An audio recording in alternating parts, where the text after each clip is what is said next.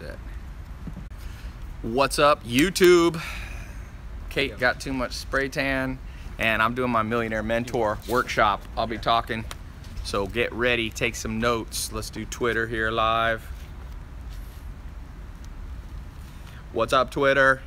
We're talking Millionaire Mentor workshop. Kate got too much spray tan, and I'm gonna be doing some giveaways. Let's do Instagram, let's do Facebook. Is that a new Facebook look and feel? Uh, yeah, yeah. I just did the update. Really? Yeah. Okay, here we go. You sure? Uh, No, this one is uh, that's Facebook. Yeah, yeah.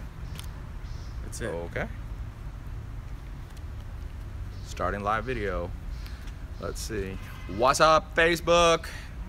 Here. I'm doing my Millionaire Mentor workshop, free workshop. Kate's gonna do some giveaways. She got way too much spray tan. you should see my Snapchat. All right, one, live one more place. Three, two, one. What's up, Instagram? How's everybody doing? We got a Millionaire Mentor Workshop. I haven't done one of these free workshop lives in so long.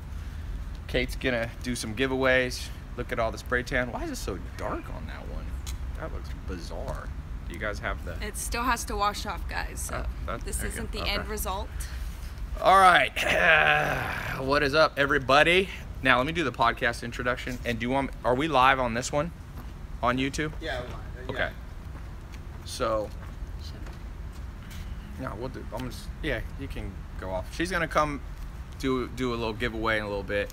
Don't worry if it's mirrored on here. I'll tell you what you need to know. Um, she can chill. Just yeah, or chill right here.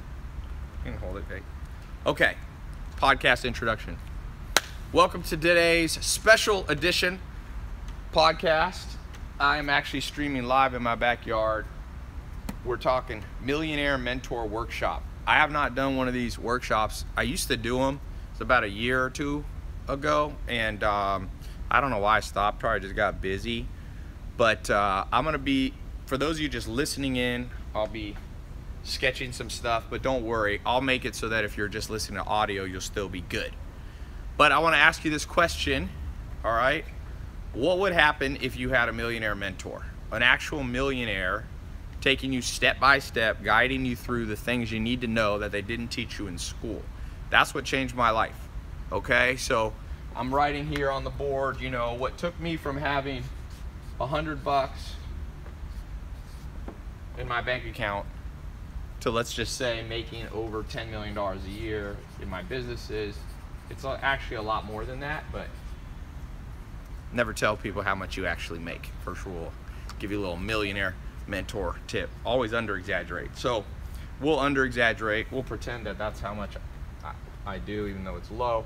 Hundred dollars to a hundred million. It's not because I'm smarter than you. It's not because I was born, you know, in the United States and you weren't or something. I don't. I don't know if I love the fisheye on this one on the Yeah, Instagram. we can take it off. It's just. Okay. Um, shows my feet and I'm barefoot and it's also yeah. Okay. Um, so I had five main millionaire mentors. Okay. And yeah, Joel Salatin, Alan Nation. Somebody said, Tai, are you gonna hide how you make your money? No, I don't hide how I make my money. But let me ask you this question. For some of you are too stupid to understand what I'm gonna talk about on this call. Mark my words. At least 50% of the people watching this are too ignorant to understand what I'm talking about. Just mark my words. You can look at the comments, you can just look around you in life.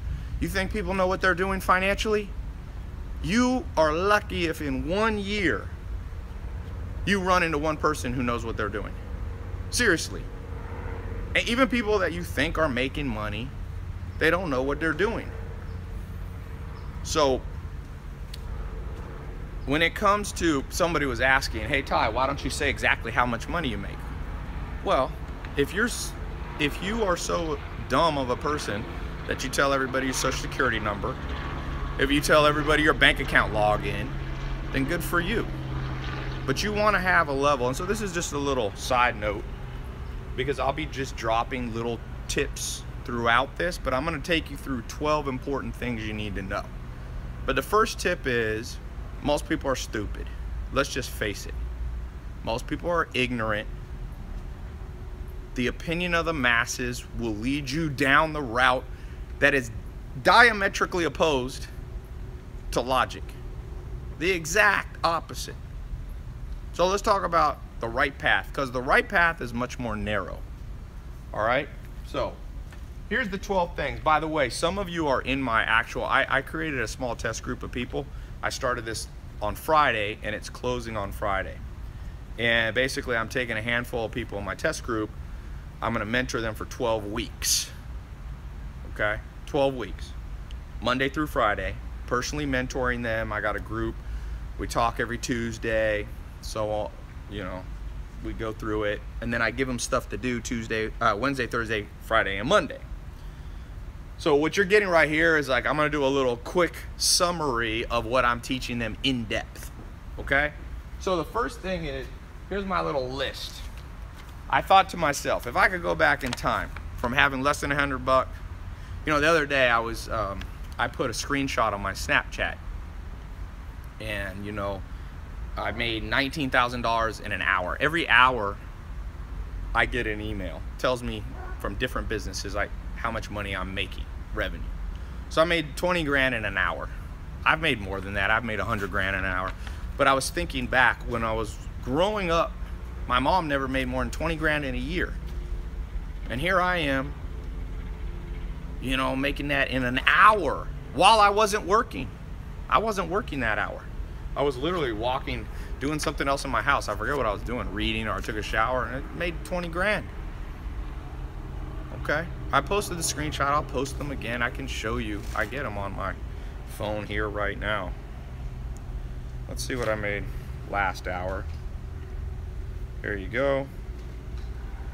I'll cover this up to not see the exact details, but there you go. I made six thousand eight six hundred and eighty dollars in the last hour. I made ninety-two thousand dollars today in one of my businesses. Ninety-two grand today. So, like I said, some people go, "Oh, Tai, tell me everything." I'm not gonna tell you fucking everything. So, if you want everything, go whine to your mommy. I ain't, you're not related to me. You ain't done shit for me. Everything I give you, I'm giving you for free right now. So don't be demanding on my ass. I'm serious because let me just write this down. Or actually, I'm going to just say it out because it'll be easier. Here's the 12 things that I think you got to know if you want to be a millionaire. Number one, you have to be trained how to spot opportunities. You see, most people think the world is in recession and the world has a lot of poverty. It does have a lot of poverty, but most of the poverty is rooted in ignorance, lack of good education system, lack of opportunities, but yet there's opportunities everywhere. For example, I was showing people, where's that bag of beef jerky? I was showing beef jerky. I was at the grocery store the other day and I saw beef jerky and I just did the math. I did some Googling. They're charging you $4 for a bag of beef jerky that cost them $1. Beef jerky opportunity. 4xing their money. 400% return on beef jerky opportunity. You see, there's a company called Blue Apron. What do they do? They basically make food preparation easy for people. Multi billion dollar company. You could right now start a business if you were had any cooking ability, charge 20 bucks a meal or even 10 bucks a meal, pay a delivery driver who you can pay 10 bucks an hour to deliver to the food, get 50 clients that you're cooking for, healthy meals. You know, and you're making 20 grand a month. That's a money making opportunity. There's money making opportunities everywhere. So the first thing you have to know, look at this beef jerky right here. It's freaking three ounces of beef. A cow gives you 100 pounds of beef jerky. This is three ounces. They, you get five of these out of one pound, 500 bags from one cow. There's a guy, I was listening to a Wharton Business School. He took a beef jerky company and sold it for $300 million in two years. Did you see that opportunity? No, because most people are ignorant. And most people whine too much. Most people, you trying to figure out how much money I make. People spend all their time trying to figure out if my Lamborghini's rented. In that time, they could have bought a Lamborghini themselves. That's how stupid people are. Trust me, I reach 200 million people a year just on my Facebook tar- retargeting pixel alone. 200 million people. And the number one thing I've learned since 2014 when I really started doing social media is how stupid people are. Not IQ though. That's the sad thing. They have raw latent IQ power. But they choose through improper programming. Improper programming. How do you get programmed? Well, parents. My mom programmed me that it was normal to make 20 grand a year. So I was programmed that way. It wasn't until I was out of the house over 18 years old that I realized, wait a second, 20 grand, I can make 20 grand an hour. Right? People are, I have two German Shepherds. My German Shepherd dogs can't think into the future. They never worry. They never dissect opportunities. They, never see their dog food and go, hmm, this puppy chow that I'm eating here is, you know, the bag is 20 bucks and it only costs Purina two bucks to make it because I actually know Purina is manufacturing their dog food in Colombia because I know a guy that has a factory there. How much you think they're paying those Colombians? You think they're paying a lot of money? No, they're not. So my dog is not smart enough to see a money making opportunity because it had an average dog has the IQ of about 20 to 50 IQ points. 20 to 50. That if a human had a 20 to 50 IQ, you would be considered handicapped. Under 80, you're pretty much handicapped. So we, we give the dogs a pass because they got low IQ. But everybody on this call has a high IQ relative to the opportunities that are out there. You just ain't seeing them. You're not seeing the ones in dog food. You're not seeing the ones in food delivery. You're not. And now some people will say, "But Tai, I do see them, but I don't know how to do it." So for those of you, there's the number two thing that I'm gonna talk a little bit about today: money making routines. People who make money have a different daily routine. You think I got the same routine now as I had when I was making, you know, under 100 grand a year? You think my day is the same? Do you think I plan it out the same? So let me ask you this how well planned was today? Do you have a real routine that you're following? Or are you just scattered and you're just reactive? Reactive people don't make money. Three types of people in the world there's people that watch things happen, people who make things happen, and people who wonder what happened. Most people are in those two categories. Very few people are making things happen. So you got to know money making daily routine. And I'm to come back through this and give you, you know, a little more details then you got to understand money making investments. The definition of investment for the purposes of this conversation, okay, money making uh, uh, investments would be passive investments.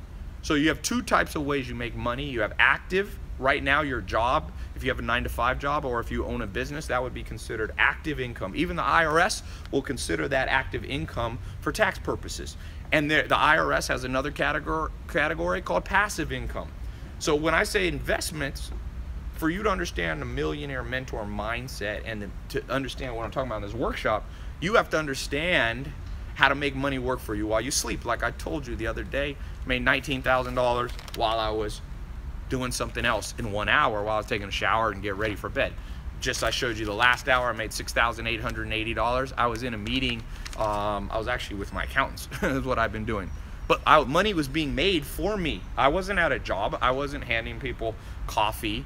I wasn't now I'm not looking down on anybody who has a job because I had low level jobs too. I worked on a farm doing manual labor. I worked in construction. I've done it all.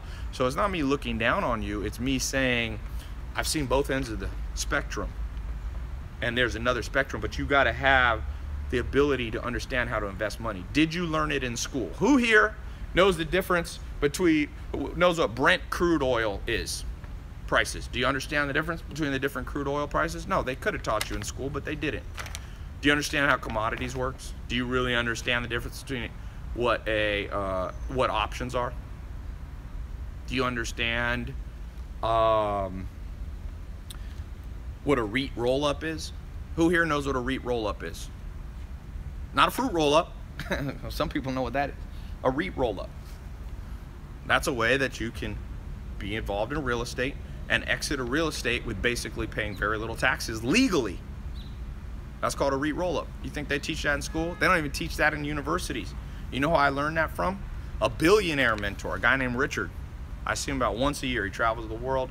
He's about 68 years old. You have to have $2 billion before you can do a REIT roll up. So it's not really practical for you, you, you as you're growing up, but you want to know what that is.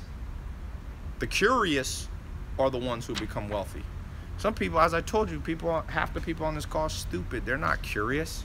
They don't know jack shit about anything. Not anything of substance. They might know who Khloe Kardashian is dating. They might know, you know, they might be watching Shark Tank, but that ain't enough. You know, that's great. You watch Shark Tank, you think NBC or ABC freaking gonna teach you anything about business? Give me a break. They're trying to make money on you. Come on, man. Number four, you have to understand money making relationships. By the way, this is the 12 week curriculum that I'm training a small test group of people. Now, that test group will be closed Friday, by the way. So, some of you are already in. For those of you in, congratulations. I'll put a link towards the end of this if you, any of you want me to personally mentor you for the next 12 weeks, but I'm doing this one for free. Okay? I don't do everything for free. Some people say, why isn't everything free? I'm like, shit, what's wrong with you asking me stupid questions like that? What do you mean, why isn't everything free? People will pay gladly for junk food. You know how much money Coca-Cola makes making people diabetic? and you know how much McDonald's contributes to the national obesity problem? And everybody who walks into a, a McDonald's gladly pays to eat poison. It blows my mind. And then people are like, Tai, how come you charge for educational programs? Shit. Go to community college then. Go back to your community college, son. We're talking 10 years. Money making relationships. How to read people. How to understand dark triad. How to understand the business partners who will screw you over before they're your business partners. How to, money making relationship, how to hire people, how to hire an assistant. You have to be a master of people. You have to understand public speaking. You have to understand how to give presentations.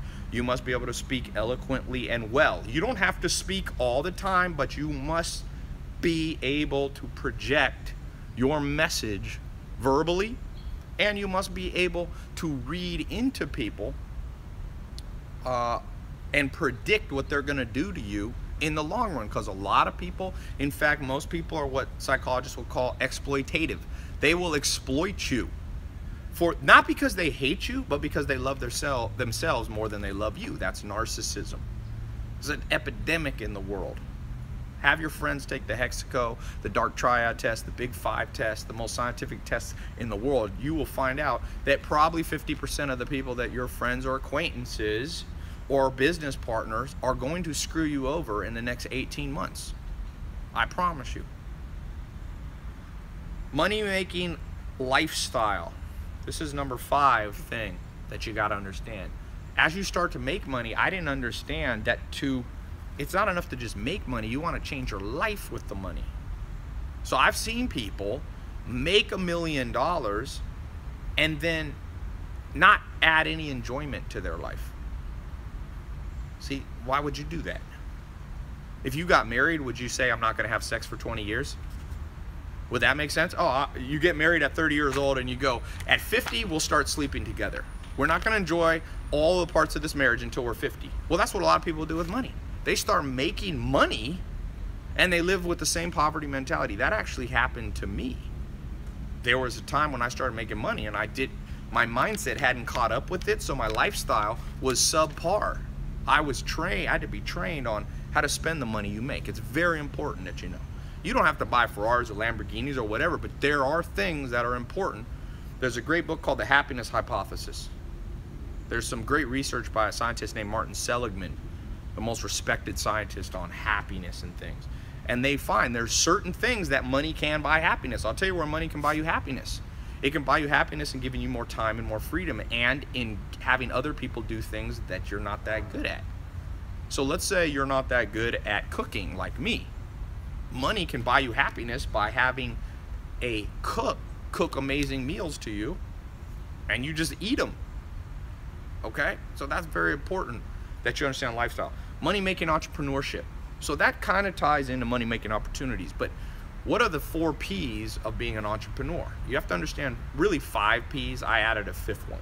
So if you go to Harvard Business School, they might teach you the four P's uh, or the five P's. The five P's are personnel, product, pricing, promotions, and placement. You have to understand to be a good, well-rounded entrepreneur that has the potential to become a millionaire or beyond, you have to know those five P's. How do you pick the personnel?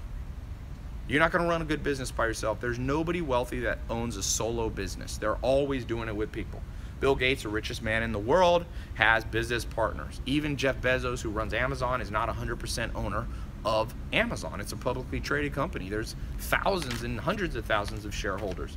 And there's a lot of executives and they have compensation packages that include stock options. So you're going to have to do it with people.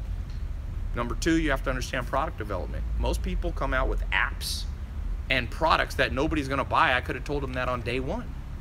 Do you know how to spot and identify and create products that have the potential to make you money?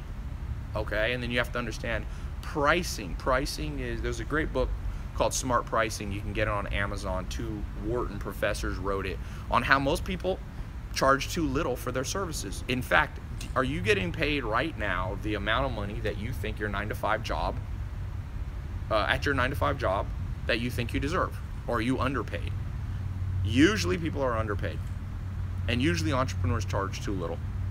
Sometimes they overcharge, but rarely. Okay? Now, then you have promotions. You have to become a master of marketing, virality. In the modern world, you have to understand video marketing. You have to understand YouTube. You have to understand Instagram. To understand Facebook, you have to understand promotions, marketing. And then lastly, placement. How do you deliver your products and services to people?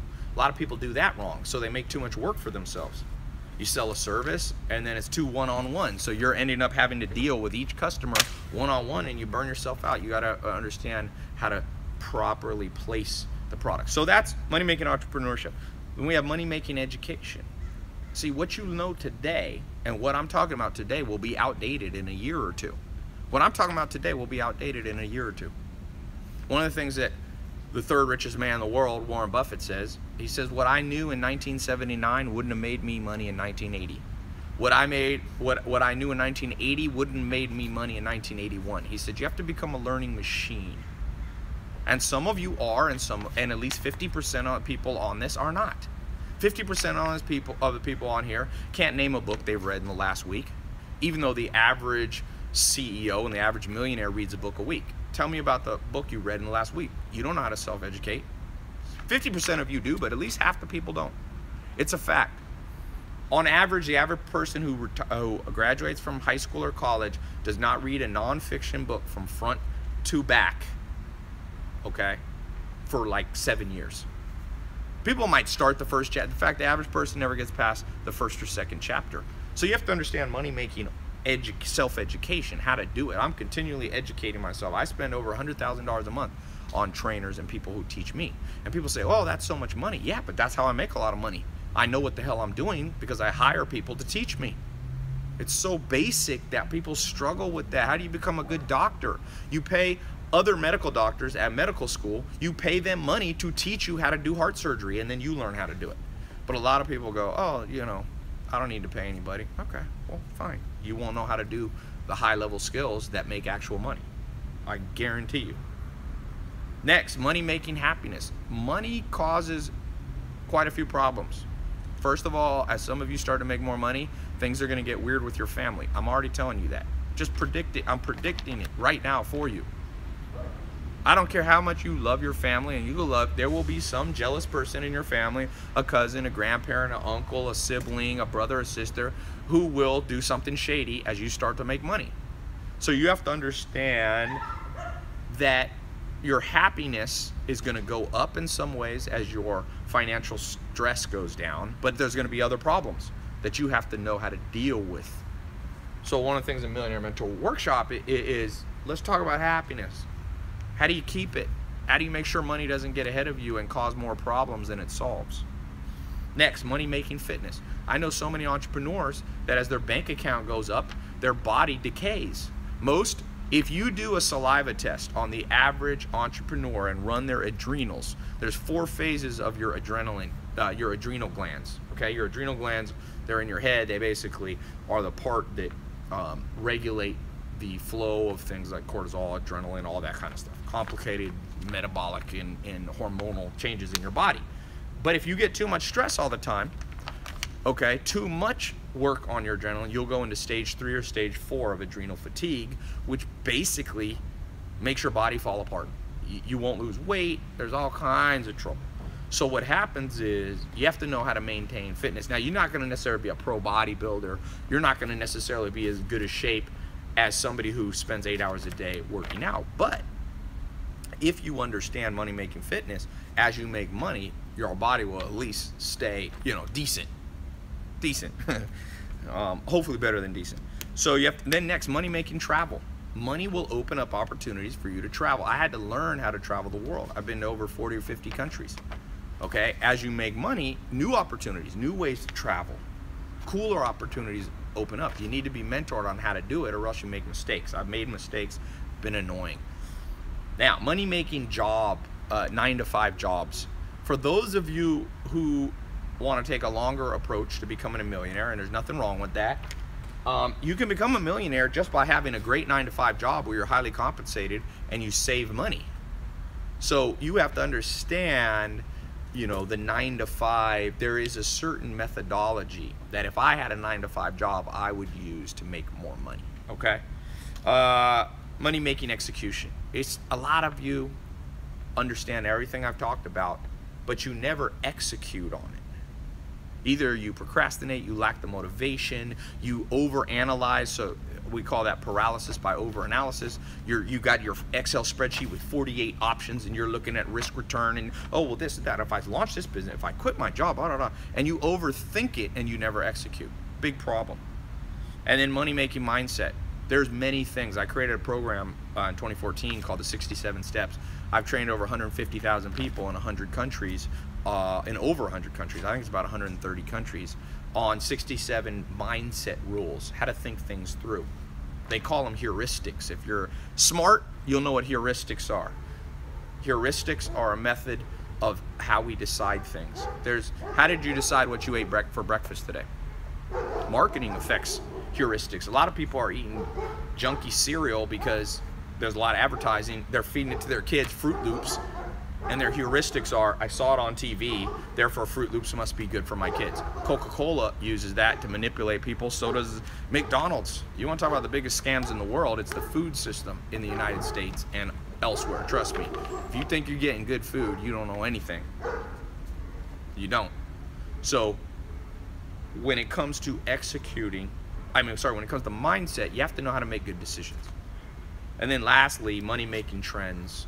You have to be a master of not only creating trends, but seeing trends.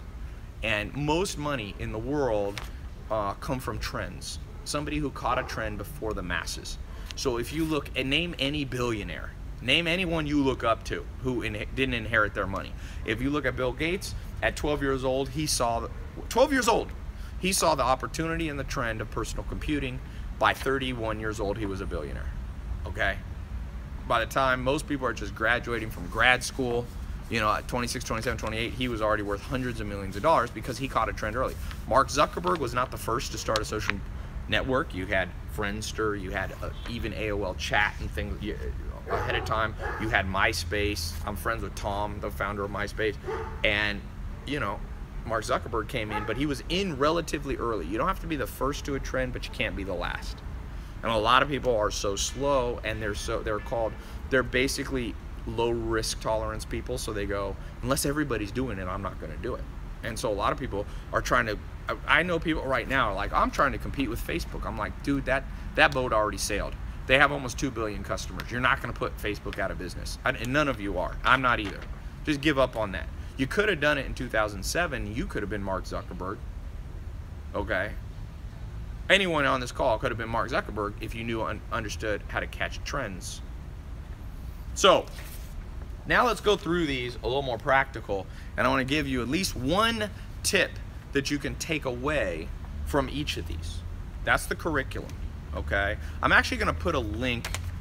Um, what is the link? For those of you, by the way, who have to go early, you have until Friday at midnight. It's a real deadline. If you want me to personally mentor you beyond this call, I'll just put this link up. Do we have a link? Uh, I'm getting it right now. Okay. All right. While they're getting the link, I'm going to start through these. Okay.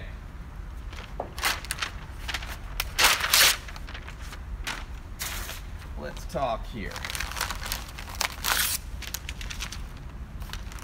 I'm going to rip these off. I'll tell you a money making opportunity. These stupid, I'm going to use this as an example.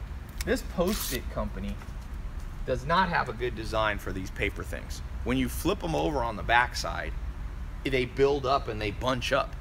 So somebody on one of this call has opportunity. See the opportunity right here. You know how much money this post I guarantee you this post-it company does 100 million in sales on paper products. Guarantee you. And this is an opportunity if you came up with a better design, you could patent it and you could sell it to them. Isn't that isn't that crazy? Money making opportunity right here. These markers are horrible. These markers right here, if you leave the cap off, they always, always dry out in a matter of one hour. Money making opportunity. Who saw this one? Who saw this one? See, it, it's so, shirts. I got a friend who was making 1.5 million dollars a year selling shirts. You know, I'm a month, 1.5 million a month. You know what? How he was doing it? Very simple. He was making T-shirts around local cities. So he would make a T-shirt for Atlanta. It would be like different slogans, like "I love Atlanta," "Atlanta fan," or whatever. And then he would do Facebook ads only to people who live in Atlanta. 1.5 million. He was netting $500,000 a month before he was 30 years old with t-shirts. He basically retired. He's like 30 and he don't even work anymore. He doesn't even do t-shirts any do anymore. He saw money making opportunity in the fact that people are loyal to cities. People are loyal to cities. Somebody here, I mean, why not do it with countries? You can do it with countries. Why not do it? Uh, you can't do it with brands. You can't say like I love Nike because Nike has a trademark, you know, protection. But nobody can trademark the city of London. Nobody can trademark the city of Los Angeles. It's impossible. It's against the law in any country in the world. So there's a money making opportunity. I'm just looking at the things that are around me. How about this? There's a case on this phone. Whose phone is this? A crappy ass case. what the Kardashians do? The Kardashians made they it looks like they're actually being sued because someone says they stole their idea. They take a lot of selfies, they put lights around them, so when they take a picture, it lights up their face. I think that business has made over $50 million for Kim Kardashian. Could anybody here come up with this idea? Yes, but you're not trained in how to see money making opportunities. You're trained in poverty. Trust me, you're trained in poverty. Everything in the news, what's the news about right now? It, talks about, oh, the, you know, the unemployment rate, that this, the recession, GDP, oh, it's 2% inflation. It doesn't mean anything. It doesn't affect you.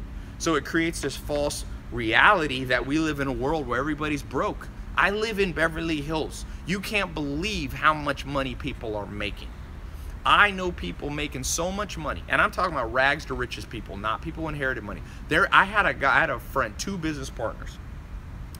I won't say their name because you might know them. They're they're real big entrepreneurs here. And when I first met them in I think 2012, they said, "Tai, we know you know a lot about finance, personal finance we need to have lunch with you. We got a big problem. So I met with them and I'm thinking, oh man, these guys got a big problem. Maybe they're not doing as well as everybody thinks they are. And they sat me down like, we got a problem. We're putting $6 million a month into our bank account, personal bank account, and we're only getting under 1% interest. What should we do with our money? And I was like, guys, you called this emergency meeting because you're making too much money. You're making $6 million a month profit and putting in your bank account and that's your big worry? I said, that's a worry everybody in the world wishes they have. And that opened my eyes a little bit more to hear just people right here making six million bucks a month. There was two kids at my house. Uh, I did a I did a, a seminar in person at my house. I occasionally do those. Two guys that I trained starting one year ago. Samir and what's his other name? His, Juan. Juan.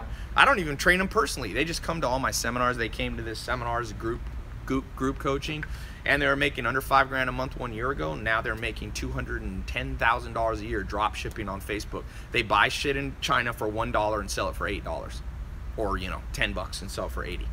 But they're doing stuff under twenty bucks, and they're making literally over two hundred thousand dollars a month at 21 and 22. They said, Tai, sometimes we have to pinch ourselves because we can't believe the money making opportunities. Now, some people won't believe it. One of the things that I have an absolute rule for any of you who want to get in by this Friday into me personally mentoring you, if you are skeptical or cynical, don't come in the program. Because here's the deal I'm skeptical of some things and I turn the channel. Only a fool watches a TV channel or goes on an Instagram or Facebook or podcast and listens to it if they don't believe in it. You know, isn't that funny? That that's how dumb people are. So for those people who don't think it's possible, who are of the poverty mentality, who think that yes, only people only are always trapped, who think capitalism is the root of all evil. In some if you're in some 1800s economic mindset, if you think Marxism was accurate and you think you read Das Kapital and all that outdated shit, then please go. Leave. Nobody wants you. Make your own world. This is a big ass world. Go in the world that you believe in. If you don't believe in capitalism and you don't believe in individual opportunity, then, you know. Sometimes people are like, I hate America. I'm like, well, fucking leave. Go live in North Korea. Send me a letter at how well that worked for you. So, the mentality of money making opportunities, I want you this week, everybody you, everything you see, reverse engineer. Reverse engineer this pen. How much does it cost to make a Marks a Lot washable pen? I bet you this pen costs 45 cents and they then research how much they sell it for, four bucks. It's probably a 10, 20, 100x ROI. Now it's a smaller niche, but you don't need a big niche to make money. Understand this thing, everything, this iPad cover, this isn't the one that it came with. Why am I using that? There's money in creating better covers, more entertaining. This one's kind of boring. OtterBox has no design on it. Why don't they have a design? Why don't they buy the rights to an awesome design?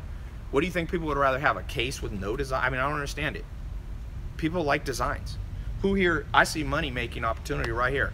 OtterBox is not doing it. They are the dominant um, protective case, I think, OtterBox in iPads and iPhones. Why haven't you grabbed the opportunity? I don't care if you live in India, Africa. You can do business in the U.S. from any country in the world almost. There's a few country America has sanctions against but usually even then you can get around them.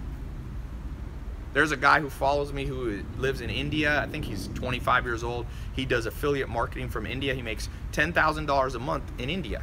Now, let, let me tell you how much money that is. The cost of living in India is like a tenth of the United States. So he's only has to make 10 grand a month from India to live the lifestyle as if he's making 100 grand.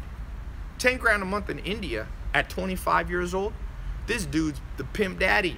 He can go to any nightclub. I don't know what a what a bottle in a nightclub costs, but I tell you, I went to um, Czech Republic. A bottle there. What country was I in? It was either Czech Republic or it actually it was like Sweden. A bottle at a nightclub's 200 bucks. 200 bucks. A bottle at uh, One Oak down the street here from where I live is probably about two grand. I mean, if you get a nice a table. So it's 10 times. So yes, you can make more money living in the United States or a big city, but it costs more to live here.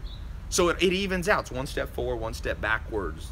The money making opportunities are all around you. There's a company in Germany. There's, I think it's three brothers. They're now worth $7 billion. You know what they do? They copy everything that works in the United States and they do it in Germany. So they took eBay and they created the eBay of Germany. I forget the name worth $7 billion. Why didn't you do that? That's my question to you. Why didn't you? You think they're special? No. You think the Indian guy's special? You think Samir's special? First person I changed in the, really in the social media marketing agency program, Jaden Gross, never had a bank account last October, never had opened a bank account. Now he's making 105. He can make a million bucks in his first year. Why didn't you do that? That's my question to you. Why didn't you do it? And I'll tell you why. Because the system didn't train you how to do it. So keep watching. Okay, you can have this back. I'm not. Oh, I, I can't see what that is. What is it? Let me put the link, by the way, for those of you who have to leave early. Someone said not everyone can do it, Tai. I know, because most people won't do it, because most people are ignorant. Most people are. There's three main problems with most people. They're fearful and overly sensitive, number one. Number two, they're proud. So they go, oh, I'm perfect already. And number three, they're stubborn. Which are you? So you're right, not everybody can do it. Because if you're overly fearful, sensitive, if you're stubborn, or if you're proud, you can't do any of these things. What What's the link here? Right, right there. Yeah. Cool. So here's a link. Just tell me what it is. Okay. What the name? So, This one. Yeah. I'm just gonna do one. Okay. The the top. tailopez.com slash apply. If you want to apply by Friday, okay, no pressure on you. If you don't want to, this is not a high pressure sales tactic. I honestly, uh, I've learned I don't care about anybody who doesn't care about me. So someone's like, Tai, I, I don't think it's going to work for me. Well, then good. Good riddance, dude. I do not care. People think that because I care about people and I do charity, I care about everybody. I do not care about everybody. And I highly suggest one of the things I teach in money making uh, uh, relationships is never give a shit about anybody who doesn't give a shit about you. There's a little rule. Even you should read a great book called The Selfish Gene. It's one of the great books written. It's written by a scientist named Richard Dawkins, who was considered a 2013. I think he's a Cambridge or Oxford professor. He's a genius. And you know what he said? He said computer simulations have proven over and over, and psychologists, that the best approach to humans is called tit for tat. Tit for tat means you treat people as they treat you. Okay? So sometimes people are like, Tai, I don't really care about you, and I want you to care about me. And I'm like, I don't. I am exactly the opposite.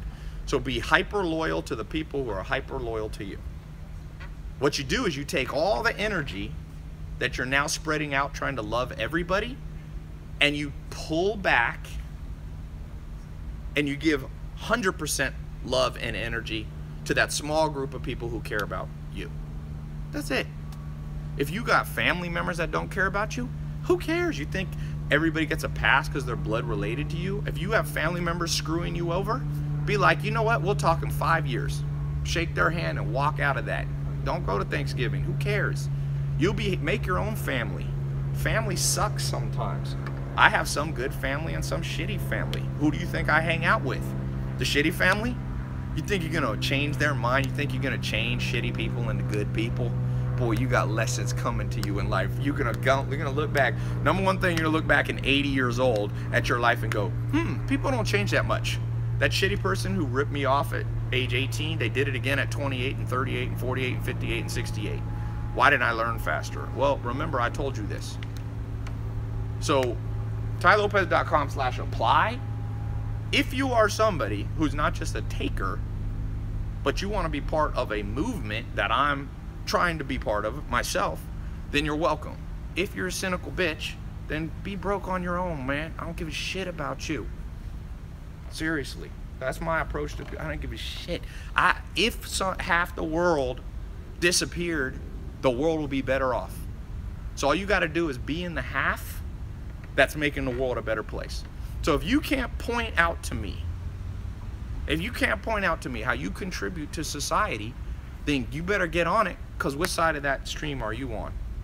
You, you want to know and make the world a better place? You think the world's a better place because Kim Jong-un is here? No, best thing that would ever happen with this planet is if Adolf Hitler wasn't born, Kim Jong-un wasn't born, a lot of people weren't born. So some people go, oh, that's mean, Tai. Well, millionaire mentor tip for you. Welcome to the real world. This world is a real damn world. There's bad people in this world, and there's people that will cheat you in a second. There's people here that if you had a mil, I have a friend. I was just in New York. My buddy had a guy who he basically needed. Uh, he had a bank account outside the U.S. or something, and he had a friend sign for it because the friend lived in the other country. Okay, he said, "Will you sign for it? I need an I need a local person to sign." And the guy said, "Sure." And, he, and then the guy signed for it and took a million dollars from my friend, and tried to tell, and then went to court trying to say that my friend that he was part of my friend's business. He never worked in my friend's business in one day of his life. He just signed a piece of paper as a favor for a friend, but when a million bucks was in there and because he had he had was the co-signer on the account, he pulled a million bucks out. There are people who will cheat you the day you get a million dollars. Those people are better off if they were never born. So you might as well treat them like that right now. Seriously. And then you take everything that you right now are spreading out among too many people and the person who has your back, did you send them a, a nice book gift this week? Did you send them a card? My question to you is why not? Why aren't you down more for the people who have your back? Take the top three people that you know if you lost all your money, if you were in the hospital, the three people would show up at your bedside. You know, I was dating a girl a while back, and um, I was out of, I was actually in San Diego or something. She was in LA, and she got sick, and she like, she didn't know what it was, so she went into the emergency room, and they held her for a day. I came, I came home early the next day, and I went there, and I was the only person who ever, and I, we hadn't even been dating that long, and I was the only one who showed up at the hospital. And I said to her, "Where are all your shitty friends?" Her roommate didn't show up. She goes, "Oh no, no, they're good friends. They're just busy." No, they're not. Actions speak louder than words. So money making opportunities all around you. This is an opportunity. The cases are opportunity. This is an op- Uber. Somebody's going to make a third Uber. You got Uber and Lyft. There's always room for a third. Why haven't you made it already? Money making opportunities. What's your problem? Uber made is worth 68 billion dollars. One guy started it, Travis or I think he's the co-founder, he's the main shareholder. He raised 7 to 12 billion dollars and he's now worth I mean easy worth 10 billion bucks. Why don't you Now Lyft is on the rise and competing seriously. You don't think there's room for a third? There's a McDonald's, a Burger King and a Wendy's and a Taco Bell. There's 10 different fast food joints in the United States. You don't think there's room for more apps for different services? Why haven't you taken that money making opportunity? As a problem that I have with the world. You know, I ask myself, Tai, what's wrong with you? Why didn't you start it? I'm actually working potentially. I'm testing a new idea to try to maybe compete with um, Uber. Opportunities. Opportunities. Where's yours? Okay? Now, money making routines. Some of you just have a crappy routine. And until you change that, there's no hope for you. Remember what Einstein said the definition of insanity is doing the same thing over and over and expecting different results. Whatever routine that you have done for the last 10 years of your life has gotten you what you have right now. Do you have a different routine lined up? If not, why not? Why not? Some people say, Tai, should I wake up early or should I wake up late? I ask them, well, what, what do you do right now? And they go, well, I wake up at 10. I said, are you making the money you want to make? Are you living the life you want to live? Are you happy? No. Well, then stop waking up at 10. Try 12 or try 8. Unless you're willing to experiment with the routine, be a mad scientist of your own life, be the general of your own army. No one can help you, but why are you still waking up at 10? Try extremes. Wake up at 4. I I'll give you an example. Two years ago, 2015, I woke up, I, I read a book by Michael Milken, who was one of the original kind of investors in the United States. He created something called high yield bonds and so on. And he used to wake up at 3:45 every morning, and by five in the morning he'd already worked for one hour. And I said, let me see if this works for me. So I woke up at 3:45 in the morning, and I had my whole office. We had our first meeting at 4:15 in the morning at my office on Sunset Boulevard, and I did it for a month and I didn't make any more money, so I stopped doing it. It didn't work for me.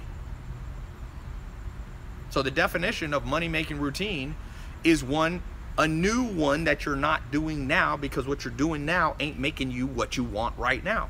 So now I don't wake up at four in the morning. It didn't help me at all.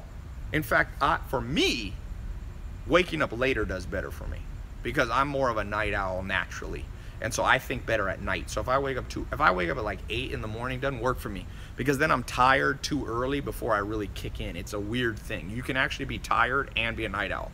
So uh, scientists, there's a lot of research out. There's a, I forget the book. There's a new book on the four types of people. There's like wolves, bears, and lions, or some crap like that. A scientist came up with your natural sleeping pattern. So, but I, am not afraid to experiment with daily routine. People say, Tai, should I read a book a day? Should I listen to podcasts? You should do whatever's sustainable. So if you try to read a book a day and you can't stick to the routine, switch to a book a week. If you can't retain, do a book a week, switch to podcast a day. If you can't do podcast, like people act. We have the most spoiled time in human history. Not even this generation, not even just everybody blames the millennials. Dude, the baby boomers are a piece of shit too. Let's just be real. You think the baby boomers try to the generation X the last time a good generation was born was my grandma's generation. My grandma's 99. She was born in 1917. She was born during World War One, uh, 1918. Sorry, she was born February 20th, 1918. Uh, Every generation since the 1950s, piece of shit. You think the baby boomers, they caused all the problems we're dealing with now. No foresight, no self discipline. They, they're stupid. So, this generation has all, there, wasn't podcasts before, there wasn't live streams. When I was learning, I had to go travel to 40 countries to find mentors. You guys are getting it right through the damn camera, and some of you still can't take the opportunity. You can dangle information, you can dangle golden nuggets in front of people now, right through their phone, no matter where they live, and they're still like, uh, uh what? Uh, I don't think that's, that must be a get rich quick scheme. Get rich quick scheme sounds better than what most people's schemes was. If I was broke again, I'd be buying every get rich quick scheme. Because what if one of them worked? You only need to get rich once. One of the best quotes Warren Buffett says, hey, you only got to get rich once. Mark Cuban was over at the house, the billionaire, you know, from Shark Tank. He told me, boy, you only, he said, you can fail 10 times, you get rich once. Everybody forgets the nine failures. That 10th one that makes you a millionaire or billionaire, that's all they care about. So for all the spoiled generation watching here, I'm assuming you're not born in 1918. I'm dangling golden nuggets. And I, if one person out of, we'll have at least 50 to 100,000 people watch this live right now. And then with replays and podcasts, we'll have a solid 500,000 people watch this. If one person realizes what I'm saying can apply to their life, I, I'm good. I did good. I don't have to change everybody's life. I told you, I don't give a shit about most people. But I do look for the one in a million person because that's what my mentors did with, me. They cared about the one in a million person. Doesn't matter whether they're male, female, old, young, black, white. No one gives a shit about that. For those of you worried about, oh, well, eh, racism's real, sexism real. Yes, racism is real, sexism is real. So what you gonna do about it? The rate of change, people will be racist for a solid 100 years. Uh, the Civil War ended in 1865. Martin Luther King Jr. basically was able to get equal rights for black people in 1965. Actually, a little bit later. So you're right. Whatever's unfair now, in 100 years, it'll be better. So you're going to whine about it for 100 years to your grave? Nope. Just roll with the racism, roll with the sexism. My last name's Lopez. Some people think I'm I'm not even Mexican. Some people now with Donald Trump and all this, half the world mad at Mexicans. I probably get racism. Fuck them. I still make more money than them. Who laughed last? Just remember who laughed last. You get the last laugh. So there is racism. There is generational poverty. My dad's from Harlem. My dad was in prison growing up. There's generational poverty. So what? That's like saying you're naturally fat so you can't go to the gym. No, just go to the gym more. For those of you who got naturally, you know, a weak body, I got news for you. World ain't fair. Some people are born, you know, I had the five of the Golden State Warriors were here at my house. I did a pool party with Matt Barnes for cancer, his cancer charity on, on Saturday. It was actually on TMZ. I just saw it on TMZ. And, you know, James Harden came here. He's not a, he's from the Rockets and, and Draymond Green was here, and JaVale McGee, and, and uh, Matt Barnes, and who else was here? Ian Clark, and and then the next day I went and Kevin Durant was on my team. I played a celebrity flag football game, and these guys are naturally seven foot tall, so it ain't fair. It's not fair that you and I weren't born. If you if you and I were seven foot tall, there's a good chance you'd be making millions of dollars in the NBA. But who cares? What you gonna do about it? Whine? Believe in reincarnation? You know, nothing. You just do with what you got, and you go from there. No one has to be perfect. You just go. You know? All right, so the next thing money making routines. You better change it up. You better change up the routine because if it ain't working, you better try a new one. Don't be stubborn. Next thing, let's talk about money making investments. Here's the basic deal, of, and I'm talking specifically about money making passive investments. Entrepreneurship, I consider active investing okay you run your own business you're reinvesting money back into that business that's entrepreneurship let's talk about first uh, and foremost let's talk about passive investments as you start making money how do you make your money work for you well a couple things i'll just tell you this somebody people are asking me about Bitcoin. People asking me about gold. There was uh, my buddy Dave. He's a multimillionaire. We were on a TV show a long time ago, um, and we've been friends for about the last ten years. And he argued with me about gold. He's like, gold is what you should invest in. I said, listen, gold's an arbitrary value. It goes up. It's not a cat. It's not a cash producing asset. And he goes, no, invest in gold. And then gold crashed. And he's like, hey Tai, you were right. So here's what I want to tell you. For those of you thinking about things like gold or Bitcoin, they're highly volatile investments. So don't say I didn't tell you. That means highly volatile, if you don't know what that means, means they go way up and way down and way up and way down. If you catch it when it goes way up, it's like winning the lottery. But when you catch it on the way down, what happens to most lottery ticket purchasers? They get jack shit. It's a zero sum game. Be careful of playing zero sum game. If you don't know what the word zero sum game means, zero sum means whenever somebody gains, that means somebody lost. And it's very dangerous to play in those markets. So here's some things that I recommend for you. This is what I tell, you know, I'm friends with a lot of guys in the NBA. These are multimillionaires. They ask me for advice on financial stuff. I'm telling you the same thing that I tell them. Chris Paul was over here on Wednesday, uh, uh, on Wednesday, Thursday, we played horse. If you saw my Snapchat, and um, now Chris Paul is a very wealthy guy, very wealthy guy. But we talk about money sometimes, and this is I tell this to everybody. You know, I'm not his personal advisor. He's got some genius advisors and stuff like that. But I'm telling you, this is the same stuff I say to everybody. Invest in assets that spin off cash and just write that down if you got an open. Your passive investment should be in things that spin off cash, not things that you're playing the lottery with looking for capital appreciation. Capital appreciation is like, oh, I'm going to buy Apple stock at, at you know 500 bucks and hope it goes up to 700 bucks. That's called capital appreciation.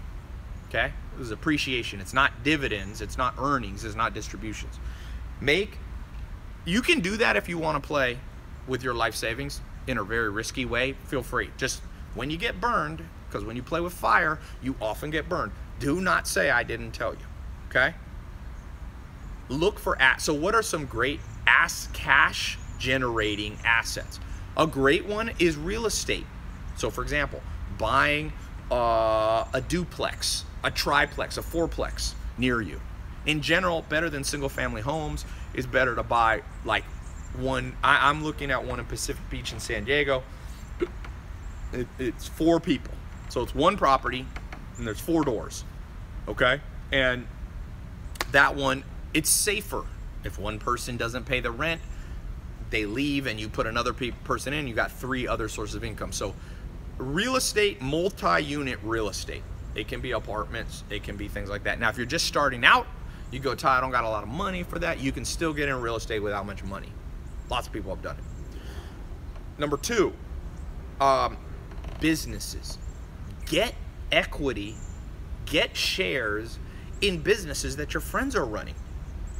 Tell your friends you'll be involved and you'll help them. You got a friend starting a business, especially if it's a business that's going to be a cash producing one, like a service type business. Okay, I love it. They're less volatile. I don't like volatility.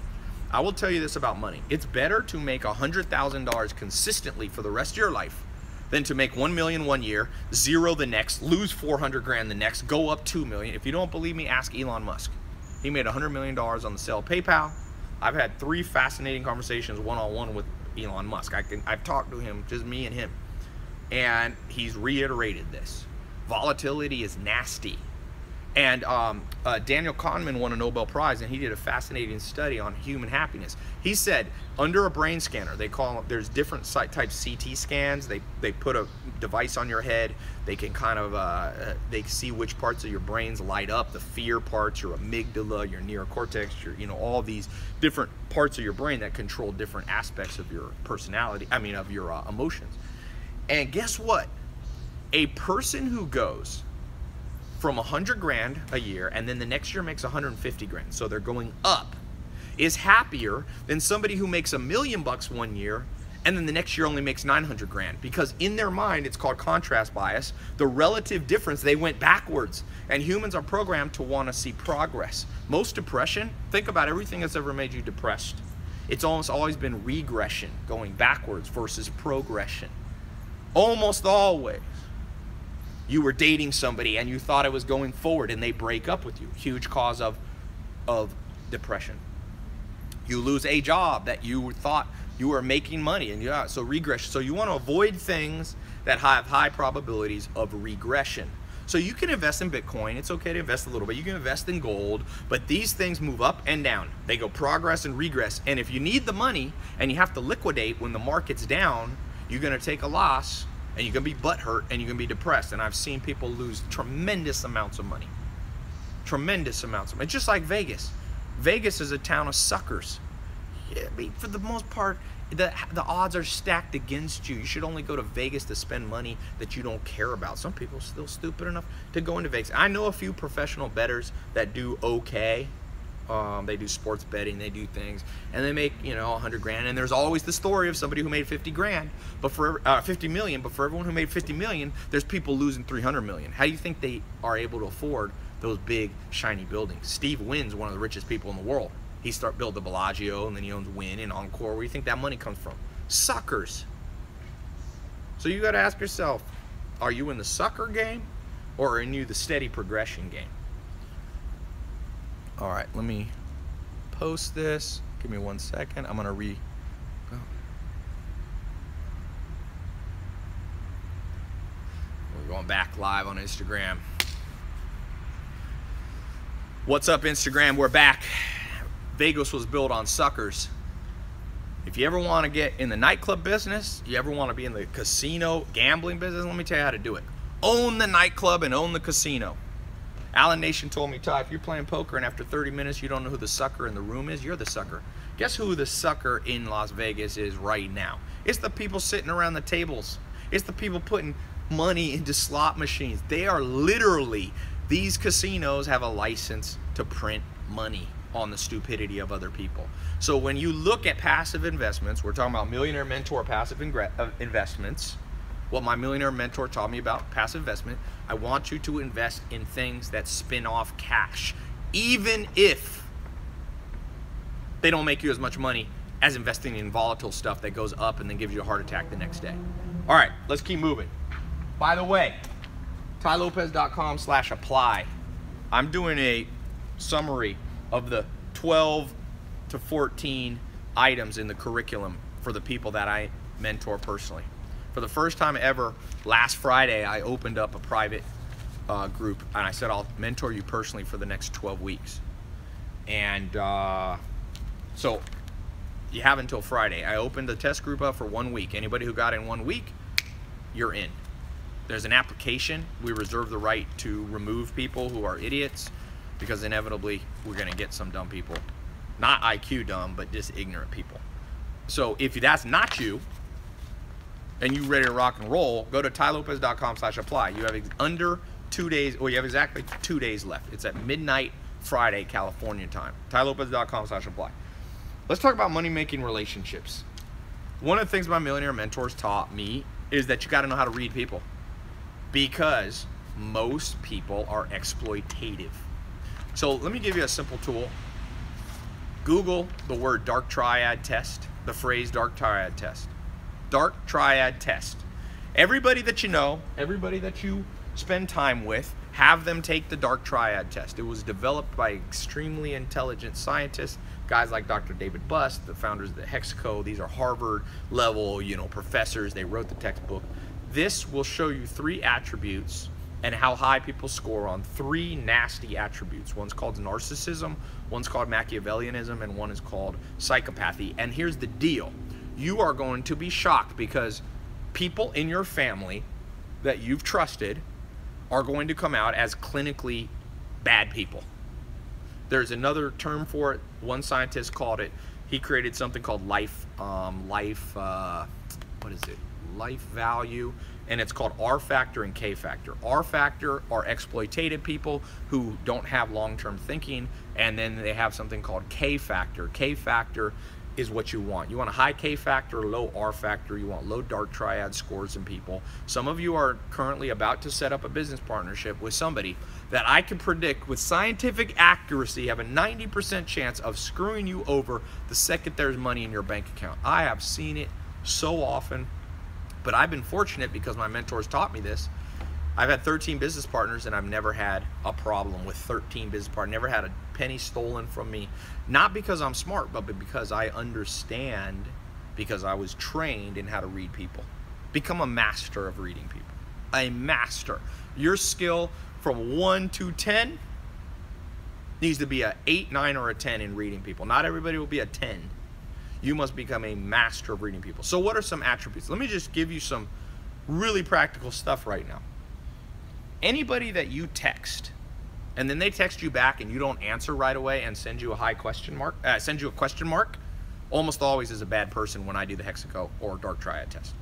They have high narcissism. So let's say you're thinking of dating a girl or a guy, you know, whoever. So you send a text and you're like, "Do you want to have dinner tomorrow?" And they write back, "Yes." What time?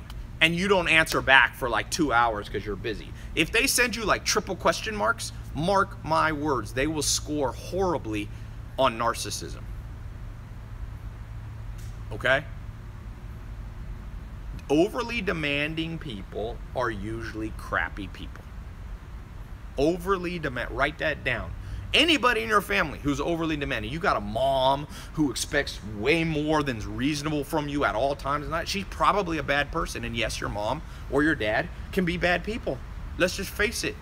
I hope it's not. I hope nobody here has one. My mom's a good person. My dad, you know, my dad was in and out of prison. My dad didn't care. My dad had six kids. He didn't care about any of them. He didn't raise me. I had a single mom and then a stepdad. My dad didn't give a shit. So he had a high. My dad had a high R factor. He was exploitative. He cared about himself primarily. He cared about me. Like he was never like I hate you or something like that. But from age one to age 18, I probably never spent more than 10 hours with my dad. Maybe, you know, in like conversation. Maybe I was around him a little bit. But my dad had a high R factor and a low K factor. K factor means you exhibit a trait called reciprocal altruism. For those of you who want to be a little more intellectual, learn what reciprocal altruism means. It means you scratch their back, they scratch your back. You have people in your life right now who you do something for them and they don't do shit back for you. Cut them out of your life like they're cancer. The only real cure for cancer is to remove it. What happens if you don't remove a cancer? It grows. Chemotherapy is hitting cancer with massive radioactive radioactivity. It's like a nuclear bomb on a small scale. Radioactivity. It's it's not for the faint of heart. R factor and K factor. You got to delineate in your life in your business, in your money making campaign, that most people have high R factor, and I think it's getting worse. I think that social media and other things are making people more and more narcissistic. That means they care and they cannot see things from your side of the story. Here's another quick practical test. Anybody who struggles with seeing things from your side of the story, okay? They can only see their side of the story. So they they say to you, "Hey, how come you didn't do this for me?" and you give them an explanation that's that's rational, logical, and they still don't buy it, high narcissism. One of the traits of a high narcissistic uh, personality, highly nar- narcissistic personality, is inability, literal, in their brain, the part of your brain that allows you to see other people's perspectives. It's gone. It doesn't operate. It's a faulty wiring in their brain. That's why I don't like politics you ever watch political debates? It's two people arguing and not seeing and being willing to see the other side of the story. It's horrible. Now, for all of you that are narcissists, and you go, who cares? I like being a narcissist. I got something for you. I tell you what your punishment is. You want to know what the punishment for being narcissistic is? Because some people go, oh, I am what I am, Tai, and I'm going to get you. Okay. You know why you don't want to go to hell? You know why you don't want to go to prison? It's not because you're locked up. It's because you're around shitty people. So narcissists attract narcissists like a freaking magnet. Those of you who go, I always date bad people. They're always awesome at the beginning, but then they screw me over. That means you're probably a narcissist. And so you attract the same thing. Now some people say, "But Tai, are you isn't that ironic? You aren't you narcissistic? You have your face all over the internet?" Maybe there's some truth to that. But I'm more of a businessman. My face is on the internet for one reason. I've done split tests where I market products without my face and I've done it with my face and my face wins. Mine's more of a logical reason. The day I find out that taking my face off the internet will be more productive, it's off. It's off. So yeah, maybe I'm narcissistic. I've done the dark triad score. I don't score super high in narcissism. I'm like middle. So I, I'm certainly no saint. I don't even want to be a saint. The more perce- people perceive me not as a saint, the happier I am because the more people try to see you as perfect, the more you disappoint them. I don't, I don't want to disappoint anybody.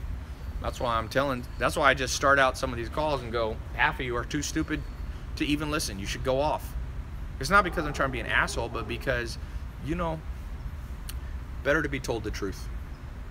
Because some of you are ignorant and maybe it'll snap you out of it. Maybe it won't.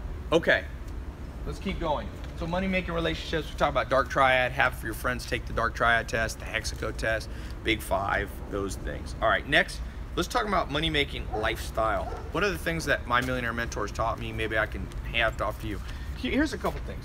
As you start to make money, primarily spend your money on a few things. Number one, live in a nicer place. Why do I say that?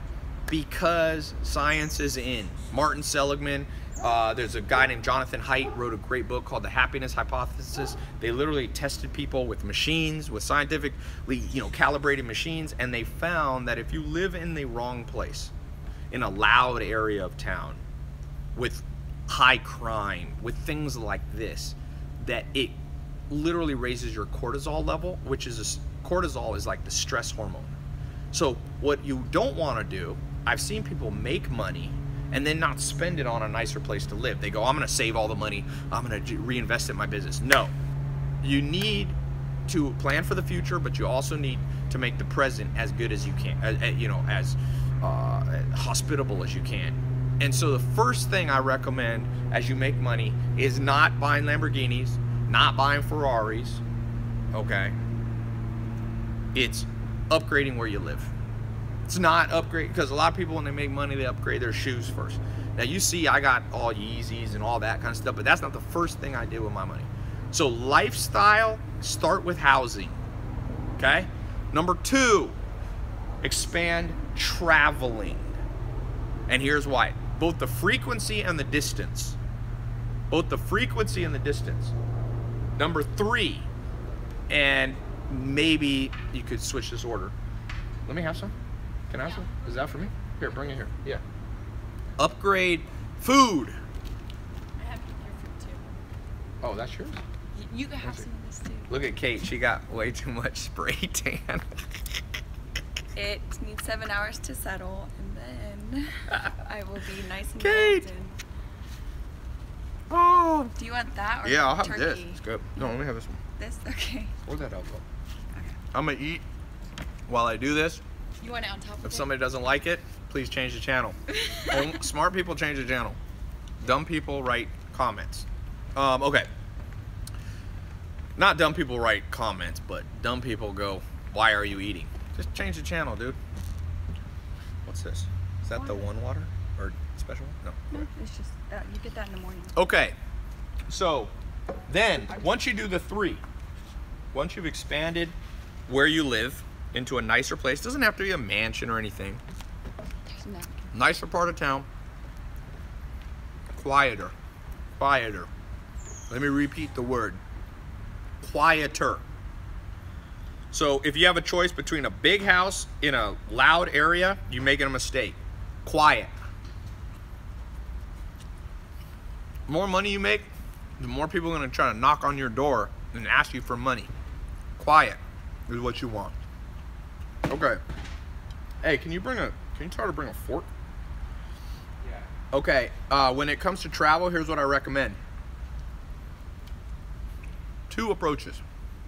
For those of you overly analytical people who overthink so much that you never do anything, take a globe, close your eyes, spin it, and go to the closest country to where your finger lands.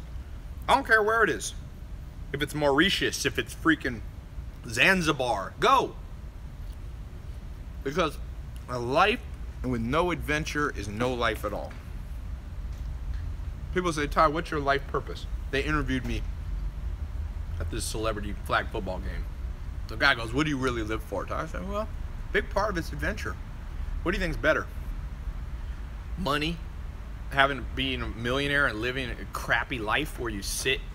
I know people that are millionaires, but they got to work nine to five in a cubicle job, even though they own the company. They're just a slave to the work, or somebody living like the Dos Equis man, life of adventure. I'm adventure man, so that's my advice. Spin the damn globe and go there in the next seven days. People say, "Oh, I can't." I don't know. Well, here's the deal. There's a great book. I forget what it's called. A guy just said it was either a guy. I can't remember. It's such a long time ago, but a guy or a girl was basically challenged, and they took on a self challenge. They said anything they can say yes to for one year, legally, ethically, and financially, they would do. So like. Their friends would be like, "You want to go salsa dancing Friday?" Normally, they were a shy person; they'd stay home. They go, "Yes." Make yes your default. Make yes your freaking default with your lifestyle.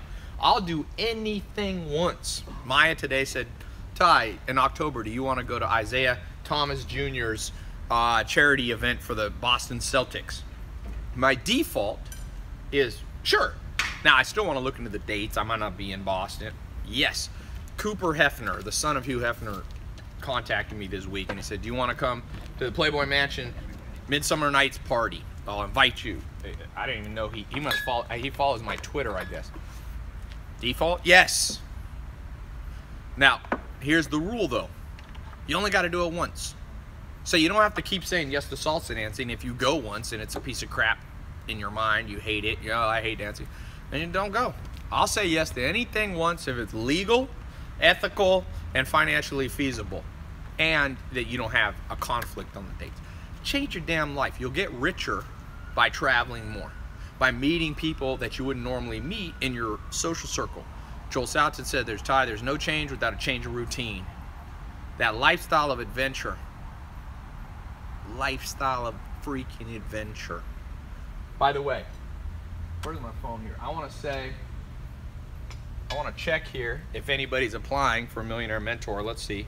I get an alert every time someone does, so I want to just shout out the people who do. Let's see. I will tell you. Joel Centeno. Right here. Congratulations, Joel Centeno. Lives in Quebec. Uh, Quebec. He's Quebecois. Montreal, Quebec. Congratulations. He went to tailopez.com slash apply. Let's see what we got next. Oops. Some of these iPhones. I never put it on low battery mode, then it always closing out on you. Got a brick right here. No, it's not that. I just had it in the wrong mode. I got some people. Mo Ismail. Congratulations. Where does Mo live? Iowa. Congratulations, Mo. I'll just. Austin Pritchard lives in Arizona. Congratulations. Alek Zavala. Alek with a K. Panama. Cool. Lauren Castillo. Oh, we got a girl here. Where, where is Lauren from? Lauren Castillo. Oh, there's a picture. She uploaded a picture. Illinois. So congratulations. I'm gonna keep this open. TaiLopez.com slash apply. If you want me to personally mentor you for the next 12 weeks, I just did the first call Tuesday. You missed it. Dude, people were like, that was the best call they've ever had. I had a small, I have a small test group. I'm not. It's not as big as this live and podcast where I'm gonna have hundreds of thousands of people. Give me 12 weeks. I'll change your life. If you're optimistic, if you're an adventurer, if you ain't a crappy person, if you're a high dark triad, if you're a high R value person, do me a favor. Disappear from my life. And I'll disappear from yours. We'll do it. We'll do it an even thing.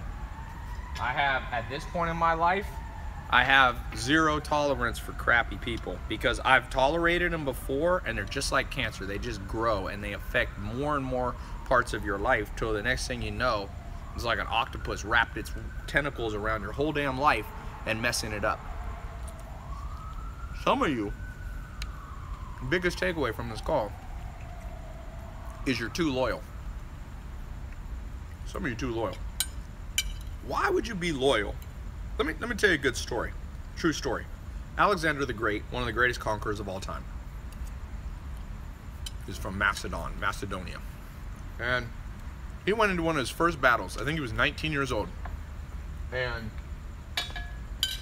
he was fighting, and the enemy, I think it was the Persians, the Persians realized there was the king, the king's son. His father was a guy named Philip of Macedon. And he came, and they started attacking. So, like, 40 guys went towards him and were fighting to get to him.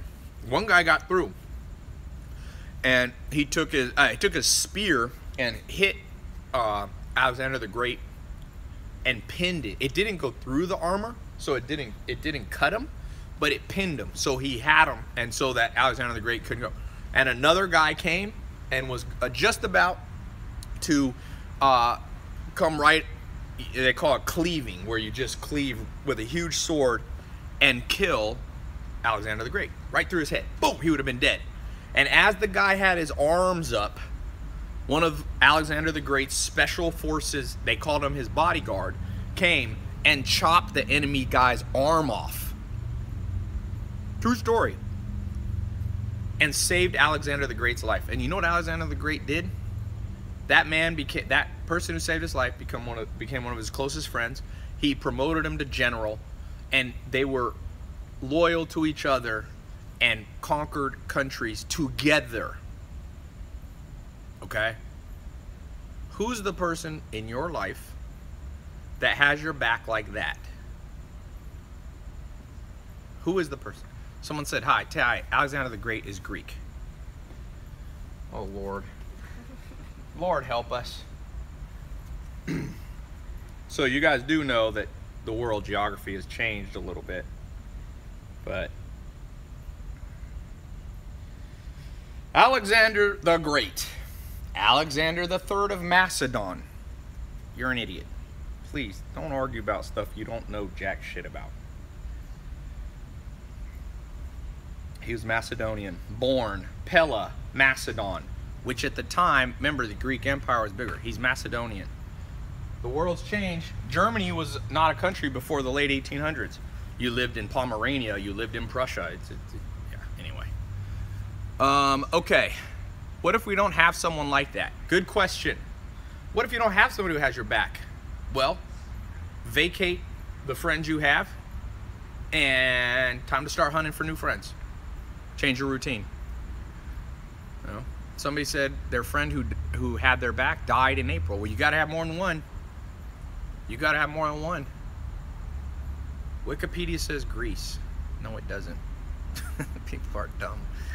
Uh, I told you there was an empire called the, was the Greece was a big place, and then they had Macedonia. Um, there you go. We have all the people from Greece and Macedonia now piping in. Macedonia now became a country again. It's um, yeah, yeah. Um, okay, we don't need to argue history. Tai, how would I make a good living at 15 years of age? By spotting money making opportunities. We talked about that. Money making opportunities. But, and that doesn't matter how old you are. This age thing got to stop. This is the first time in history where people under 25 are becoming billionaires. So please stop with the I'm only 15, how do I make money? What does that have to do with anything? If you're selling on Amazon, if you're drop shipping on Amazon, do you think people research the age of the person who's shipping them the product? Do you do that? No, no one gives a shit. People go, oh, Tai, I, you know, I'm this, I'm that, I'm, I'm Latin, I'm black, I'm this, I'm old, I live in Russia. Who cares? Sell on Amazon. No one knows where you're from. No one cares. Just ship them the damn product that they buy in a timely manner, and you'll get high quality. You know, you'll get five star rating, and more people will buy from you. Think anyone cares what you're selling on eBay, what you're drop shipping on Facebook, what you're selling on Alibaba? Do you think Alipay? You think anybody cares? Stop with the excuses. There's no need to be, you know, an excuse maker. Next, money making entrepreneurship. Uh, so of all the topics, the real way that 99% of of uh, self-created wealth, people who didn't inherit their money, it almost all comes from entrepreneurship. Very, very few people ever have a nine to five job and become extremely wealthy. In fact, none. There's not one person on the Forbes list of the 400 wealthiest people in the world. There's zero people who did it through a nine to five job. Zero. So entrepreneurship is important if you're trying to make extra amount of wealth. If you're happy with making, you know, between 50 and 500 grand a year, you can do that through a job and there's nothing wrong with that. And a lot of times it goes in phases. So you don't always have to be an entrepreneur. Steve Ballmer, I had dinner with uh, uh, two months ago. He's worth $32 billion. He helped Bill Gates start Microsoft. He was the CEO of the largest company in the world, Microsoft, for about 10 or 20 years. And he was a employee for some of that, you know? So it, it's a it's a mixed bag.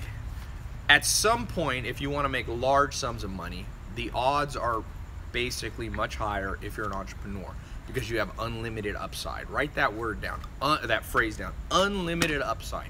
The reason I became an entrepreneur is because there was no limits. There's always a limit at a job. If you work in a job nine to five, I don't care if you're making 400 grand a year, you're not going to make three million dollars a year unless it's a commission-based job.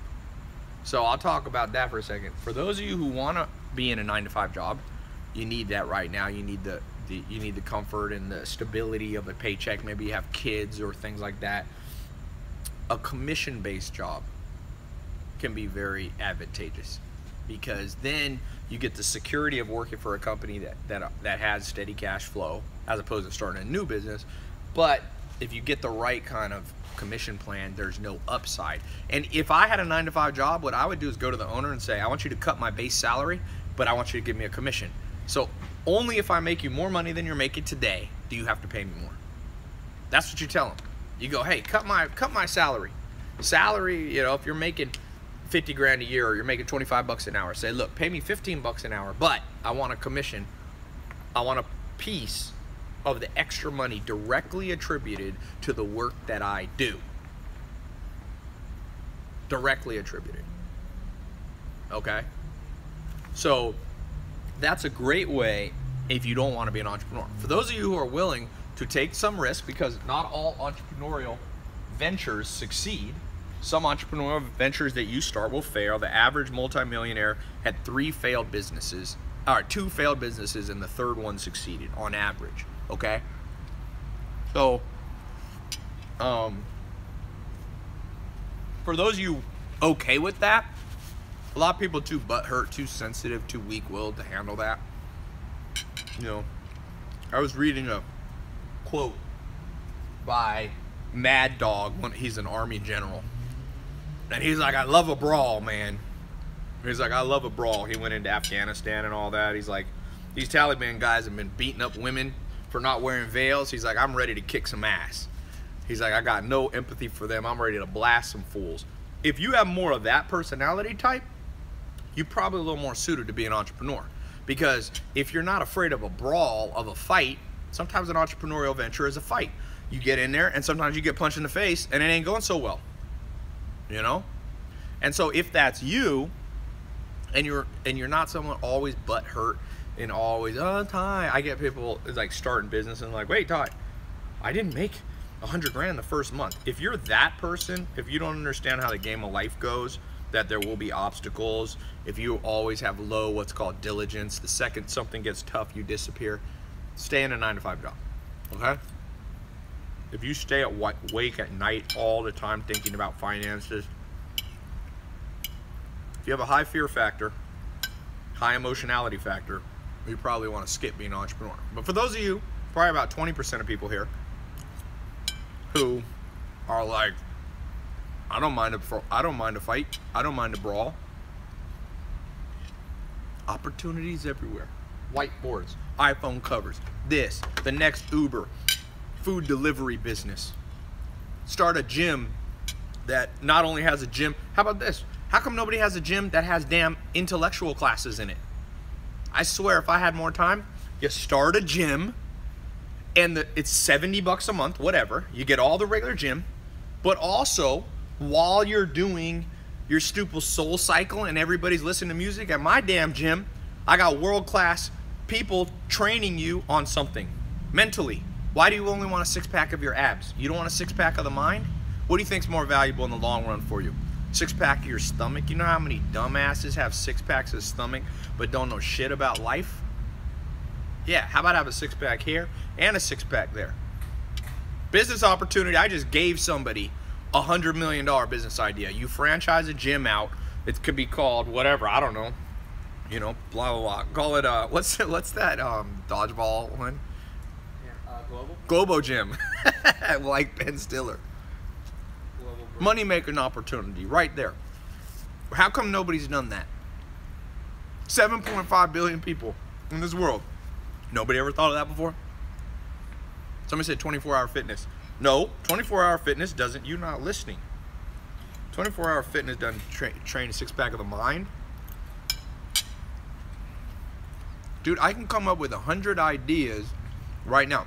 People said black people can't get loans. Okay, well then don't get a loan if you're black. It's gonna be hard. If you think it's hard, then don't. I didn't get loans to start my businesses. I have before, but I've never started a business with a loan. So, the world's tough, baby. I ain't Twitter. You know? people go to Twitter to, to whine and complain and get consoled by butthurt, other butthurt people. I ain't Twitter. World's a tough ass place, baby. My dad was in prison. I remember wanting a dad growing up. I didn't get a dad. What do you want me to do about it right now? Go to grief therapy? Hold hands and sing kumbaya with other guys that didn't have a dad? Fuck that. Where's the mad dog? Where's the mad dog tough people? Where's the Navy SEAL mindset people? The world needs less. If we had more Navy SEAL people, we wouldn't have a problem with North Korea. His own people would have taken him out. That's what should happen. Adolf Hitler's time, his own people should have taken him out. One guy tried. Dietrich Bonhoeffer blew up a bomb to assassinate Hitler, but the bomb was misplaced and it, it, it only hurt him. It didn't kill him. Where the hell were the rest of the Dietrich Bonhoeffers? Germany had 80 million people. I can say this because I'm 60% German. I did my DNA test.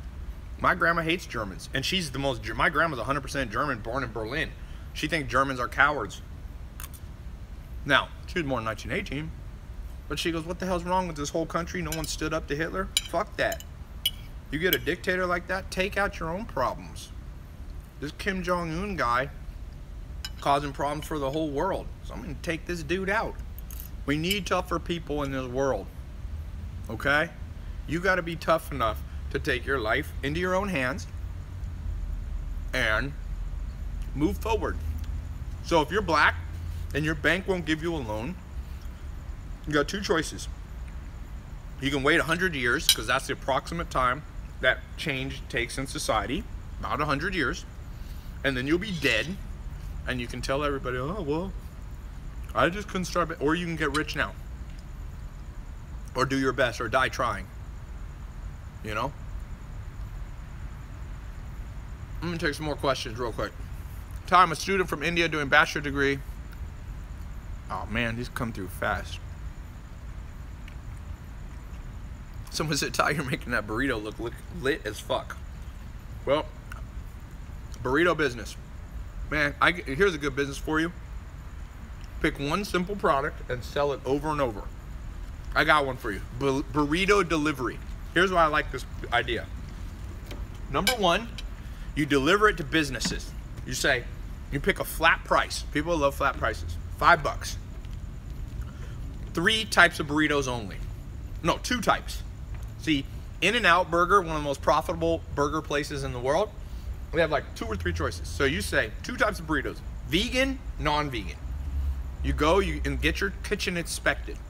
In most countries, you gotta get your uh, you gotta get your kitchen inspected by law. Okay, you get a kitchen inspected. It's not that expensive to do, or you find you can rent space at a kitchen. You then cook on Monday a whole bunch of beans, this much, a whole bunch of ground beef, a whole bunch of stuff, and then you freeze them. Okay? Now just don't lie to people. Don't advertise that you're selling fresh burritos. Just say it's burritos. That just tell people. I make them every Monday. And I will have them delivered to your office. You can order one to a hundred. If they got a lot of employees, you charge five bucks. Each burrito will cost you a damn dollar. Give them a group discount if they buy a lot. You get 10 businesses paying you for burritos, even if not every employee does it. You got one thing to cook. The more you buy beans in bulk, the cheaper it'll be, so your costs will go down. Money making opportunities in that burrito right there. How come somebody doesn't have a burrito business? I've never heard of burrito delivery, but people love burritos, man. It's got all the stuff you want cheese, meat, you know, it's got uh, carbs, the things that you can put a little salt in it, you put some of your own, make some salsa. It costs nothing, and you mark it up. It doesn't even cost you a dollar per burrito, man. That's with delivery. You paying some dude or woman to deliver your shit. Pay Postmates, they'll do it for you. Anybody at 15 could do that. All you got to do, like I said, is most countries you'll have to have an inspected kitchen, or you can rent space in inspected kitchens. So you just rent it on a Monday. You can make 500 burritos. You can make a thousand burritos easily. Hire two people to help you. People will, man, said to roll them up. You could probably get a roller machine. If you were making a thousand burrito, eh, let's just go lower. Let's go lower. You were selling 150 burritos a week. You know how little that is? 150. In a week, in five days, that's 30 burritos a day, Monday through Friday, to office spaces. Guess what? What would your profit be? Well, if you sell them for five bucks, your gross would be 650 bucks. If your cost is 250, you're making 400 bucks a week. That's six, $1,600 a month on the side, and you if you pay someone else to do it, you might not even have to do any work. Now, what happens if you 10x that? Definitely possible. $16,000. You get it going, and then you 10x it, and then you 10x it again. Somebody will take this idea and be making 15, 20, 30,000 dollars a month. Seriously. Somebody said, "Well, will this really work? Do people eat burritos? Is Chipotle a good business? You know how many people eat at Chipotle? What does Chipotle basically give you? A burrito. Money making opportunities everywhere. Okay? Dude, I, I someone Google how many burritos do Americans eat per year? Some countries don't even have Spanish food there. I went to Scandinavia, Sweden, they don't even have a Taco Bell there. The most popular new restaurants are these like little Mexican places because it's new. Bring ideas from other countries. What do you think made Mateschitz rich? There's a guy named Mateschitz. He basically started Red Bull. He got the idea from a, an Asian drink company and he brought it to Europe and then he brought it to America. He, he took the idea from somewhere else. Phil Knight, read the book Shoe, uh, Shoe Dog. What's the story of Nike? One of the biggest brands of all time. He found a company in Japan that was manufacturing a shoe and he brought it to America. That's the first Nikes. Okay? All right. Somebody asked, do you make a restaurant? No, restaurants are too hard to start because you got a lot of expenses. Deliver food. Nobody wants to go to restaurants. People, people want stuff delivered. Retail businesses, over a hundred retail businesses are set to go bankrupt in the next 12 months. I just read that, I think in Harvard, uh, Harvard Business Review. Over a hundred businesses. True Religion went bankrupt. Nasty Gal went bankrupt. American Apparel went bankrupt. Sears is about to go bankrupt. I mean, these countries, they, Sears I think already been bankrupt. J.C. Penney. People aren't shopping. They want it brought to them. Remember how I said we live in the weakest society ever? Well, there's one thing you can do. Weak society, give them what they want and they'll pay you for it. People, people don't want the inconvenience of going to Chipotle when you could bring them just as good of a burrito right to their office. People are late. Look how fat people are. People don't even want to walk to their car. Bring them shit.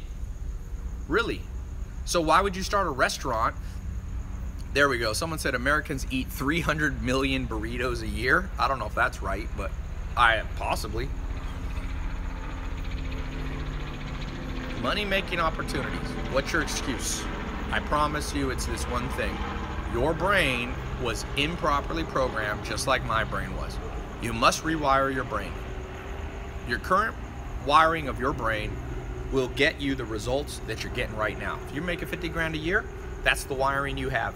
And people go, I want more. No one cares what you want. It's what you're wired for. Nobody cares what you want. Someone said over 300 million burritos are consumed a, a month. I have no idea if that's true, but we can say there's a ton of burritos that are being, you know, manufactured, eaten. This one says 310 million a month. Yeah, there's a ton. It's a huge market. One of you can become a millionaire from burritos. You could. Will you? Uh, as I told you, 50% of people too ignorant. This is how it basically breaks down. About 50% of people too ignorant. I'll draw a little graph here because that won't turn. This is basically how opportunities go. 50% of people suck. How about that? They just do. They, they're low quality people. They got low. If you look at the character traits that make humans good or bad, it's there's 25 of them. Is a test called the Hexaco. It'll show you your 25 facets. So there's honesty, sincerity, greed avoidance, modesty, uh, fearfulness, anxiety, uh, dependent sentimentality, social self-esteem, social boldness, sociability, liveliness. Uh, then you have X A agreeableness, which is uh, forgiveness, gentleness, patience, flexibility. Then you have the C conscientiousness, which is perfectionism, organization, diligence, prudence, and industriousness. And then you have the openness experience five factors. So those five factors are um, curiosity, uh, aesthetic appreciation, uh, altruistic things. So that's basically, I just named 23 of them. I forget the last one. So 50% of people suck on that scale. They have low altruism, high, uh, low modesty, high insincerity, high anxiousness, high, low dependent, uh, low industriousness, low levels of prudence. So 50% of people off the table. Don't partner with them. Don't do shit with them. Don't talk to them. Let them be friends with each other. That's the best thing you can do. Okay? Now, then it splits. And by the way, this applies to lots of stuff. Family usually breaks out similar. Maybe you're lucky and you have a better one or whatever. Then you it splits again. So now 50, 25, 25. Okay? Now, this 25 has potential okay? But they're lazy and procrastinate. So there's people who would be loyal to you, but it takes too much energy. If you don't believe me, I got an instant test for you. Just text a little joke text, but don't tell them it's a joke. Just say, hey guys, I'm moving. Will you come help me move this Saturday? Just tell them that. Text 10 people that you know, family, friends, and acquaintances, and say, I need help moving at 8 in the morning this Saturday. I can't afford a mover. Would you mind helping me? Mark my words, out of 10 of those people, 50% suck. They won't even write you a text back. They'll pretend to ignore your text. Okay? 25% will go, oh, and they'll want to help you, but they'll never show up because they're lazy and they procrastinate. They'll send you a text last minute. Oh my God, I was gonna help you, but then my dog got sick and I gotta take to the vet. And my friend, oh, I forgot about my appointment. My, I gotta do CrossFit. God, blah, blah, blah, blah. 25%. And then you got the 25% of people with potential. So out of every 20, uh, sorry, out of every 10 people that you text, you'll probably get two people that'll show up. That'll never change that ratio. That'll never change. Family, text 10 of the people that you know. I mean, 10 of the people you're related to. It's gonna be the same thing. Five people aren't gonna write you back. Not when you ask for help because most people are exploitative. Exploitation basically means they will, when they text you asking for your help if you don't show up, they'll flip the fuck out. You know somebody like that? Flip. I knew somebody, a funny story. When I first moved to Hollywood, I had a house over on Sunset. It had a pool in the middle uh, my friend, two friends were visiting. One was this Brazilian girl, and one was my friend from Argentina. My friend had this camera um, that he had just bought, like a five thousand dollar expensive camera, and we were getting ready to go a party. He was in a suit, and she just joked around and she pushed him into a pool. And he held. Luckily, he didn't ruin the camera. He put the camera above his head, and it was fine. But he was kind of pissed because he had to go and take a shower again and change his suit and all that. But he just played it off as a joke. He's like, ha ha, okay, you got me. The next day, it's true story, that same girl that had pushed my friend in the pool was sunbathing by the pool, just in a bikini, laying there, and he came behind the chair and flipped it into the pool, and she landed in the pool, all wet. And she freaked the hell out. I mean, freak, she didn't talk to him for four years basically after that. You know why? Because she was an exploitative person. She couldn't see, wait, she was like, my friend was like, wait, you did that to me yesterday, even worse. So I did it back to you and you're gonna flip out? Yes, that's how most people are. 50% of your friends, acquaintances, family members, business partners, when you need a favor, they're gonna not even write back or make an excuse. But God help you if they ask you for something and you don't write back. They'll be butthurt through the roof. Oh, you're not a good friend. They'll gossip. Well, fuck them. You know what my answer to them is? Never talk to them again. Be like, listen, people take about five years to change. It's uh, August 8th, 2017. I gotta, well, let's go out to lunch in August 22. That's what I would say.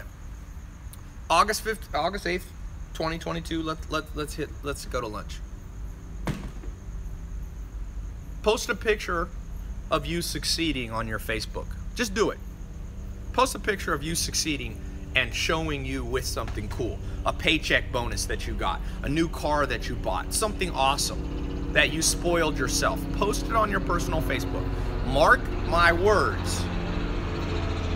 Some people are going to write, oh, well, look who's got a big head. Oh, look who has an ego. Oh, look, that means they're taking it personally that you're succeeding. I call that smoking out the haters. It's like tear gas. Now you know everybody on Facebook who's a piece of crap, who is over here. Look at comments. Comments will reveal to you everything you need to know about planet Earth right now. See, in the past, a hundred years ago, horrible people were mostly no, had no friends and lived in their mother's basement. But now, because of the internet, the people in the basement connect to everyone else. So every virgin 24 year old guy that no girl likes is sitting there pounding away on celebrities' comments. Justin Bieber, oh, you're a piece of crap. And I mean, God, how do we cut the damn internet to at least half of the world? I know that Mark Zuckerberg is on a global mission to bring more people connected to the internet. I'm like, how about an application for the internet? If you have the ignorance factor of 10 trillion, you are forever banned. You know what else will make the world a better place? You can't have kids till you go through a training program and prove you're not a piece of crap. Because piece of crap parents produce piece of crap kids. Look at Kim Jong Un. His father was a piece of shit, and so is he. And it goes on and on and on. Where's the damn people want regulations on all kinds of stuff? I'm like, you don't even regulate the right thing. Why not regulate parenthood? You gotta to drive a car, you have to pass a test. What's more dangerous? An idiot driving a car or an idiot having six kids? That you and I are gonna have to pick up the burden for for education system and their health care because they're gonna be crappy people for the next 80 years. Oh, but no regulations there? Oh, internet. One person can go in, hack in, and disrupt the happiness of a thousand people. No regulation there? Give me a break. People like, you want to be president? I'm like, no. I'd be king, but not president. Fuck being president. Then you gotta listen. Then all the horrible people who tweet the most write the most damn things. I feel sorry for Obama, Trump. All. Why would you want to be the president? you, now, like voters are like your bosses. We know out of 330 million people in America, 165 million suck. So you got to have 165 million people be able to access your Twitter and write letters to the president. Oh my God! I was I had lunch with um, Adam Silver. He's the commissioner of the NBA, the National Basketball Association.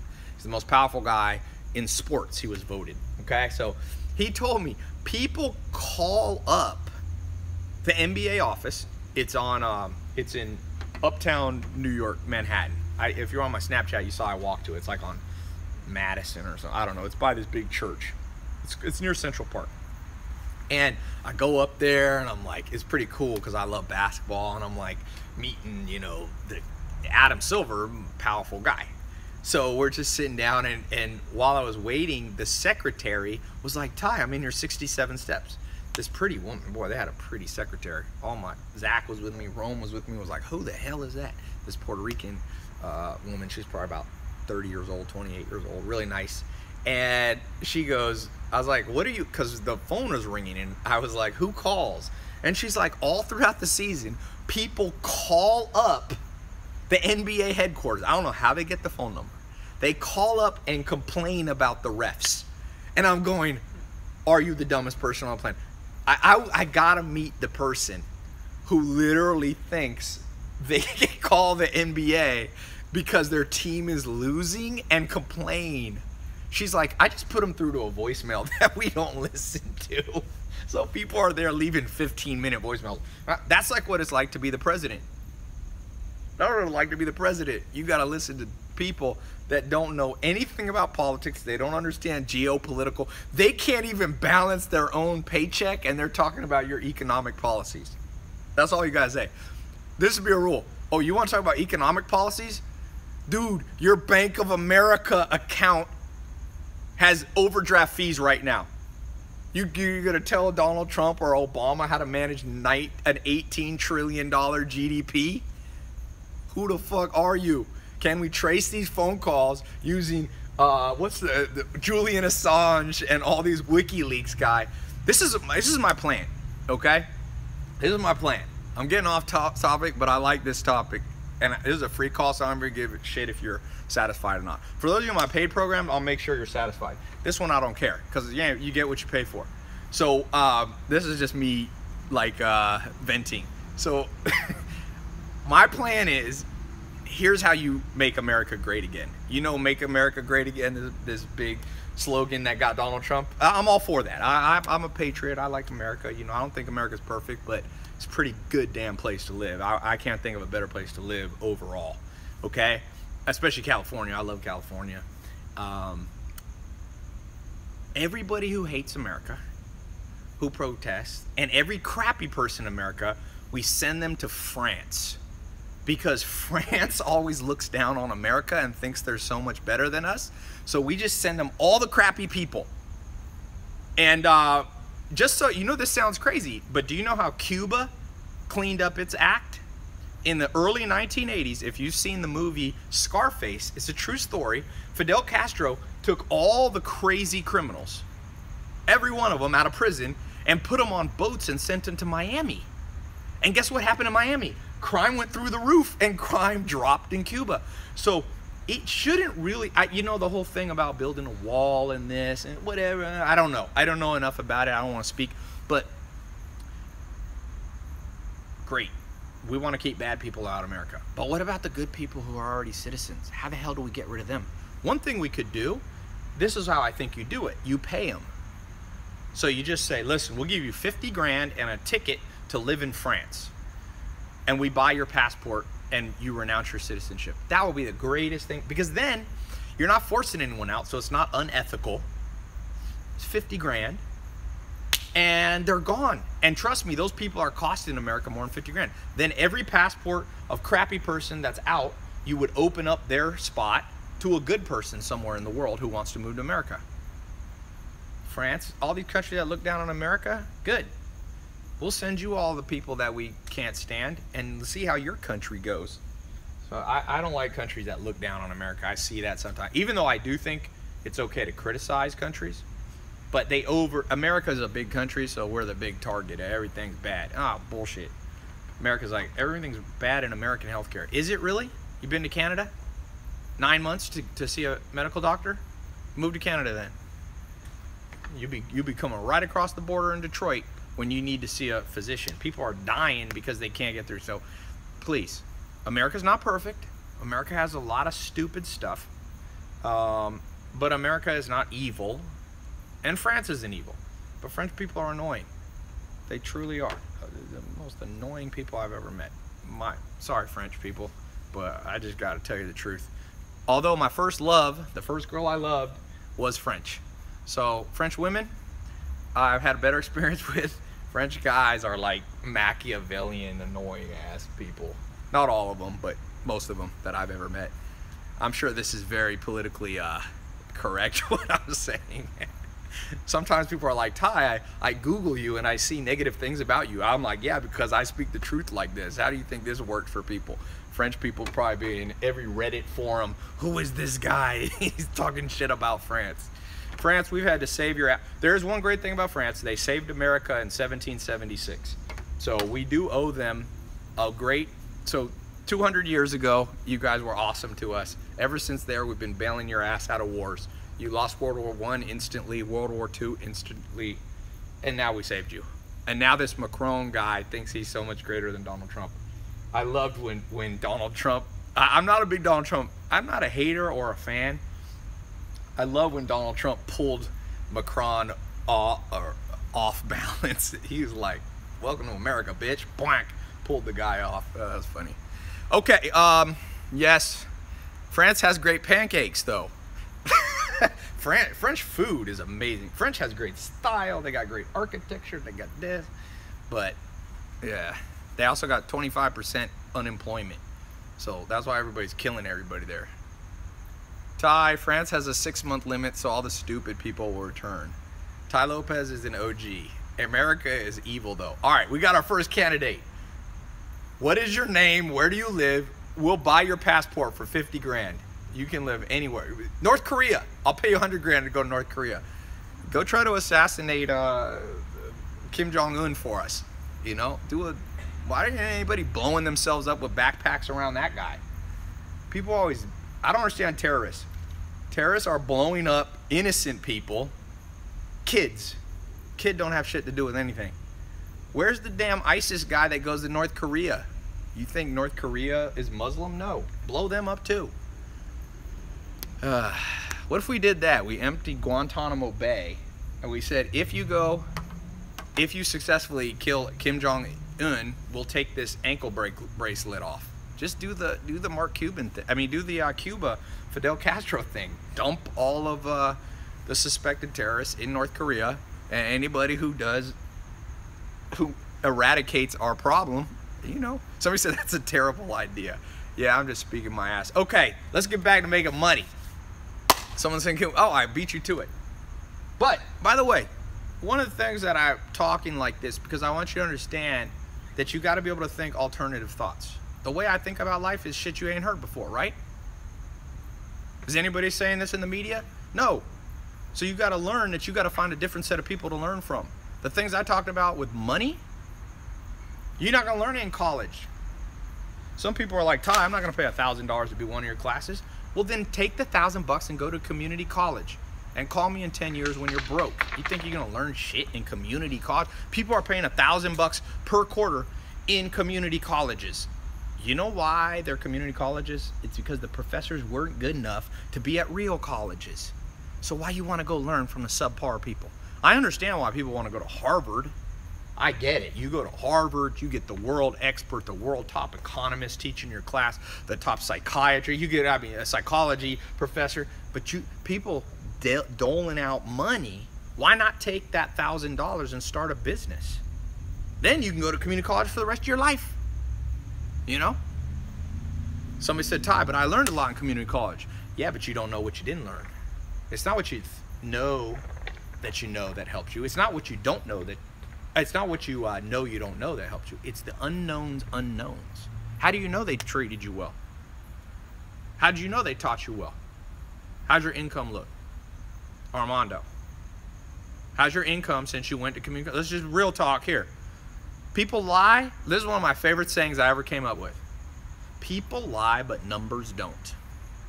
So Armando, could we see your tax return before and after you went to your community college. I want to see, was there, you invested time, energy, and money in your community college. Was it worth it? Because you lie, because people lie. But show me the numbers, then I'll believe you. Numbers tell the truth, boy. That's why I said, you text your 10 friends that you need help this Saturday. Five of them, that's a number. Now you know five of them. Don't matter what they say, oh, I couldn't make it, da da da da. You know? So, yeah. Okay. Uh, I dro- someone said they dropped out of high school and made 500 grand a year. JC 69 New York. Cool. I don't always recommend dropping out of high school. I did go to high school. I don't even recommend dropping out of college. What I do is I recommend that you have the mindset that you don't just buy into something just because everybody does it. Just because your friend goes to community college doesn't mean it's going to work for you. Life has to be customized. You know, for some people, going to college is going to be the best choice of their life. For most people, it's going to be a waste of time. You can get your art history degree and your philosophy degree. I mean, I had a member of my family, I won't say who. But Just, let me just run this by.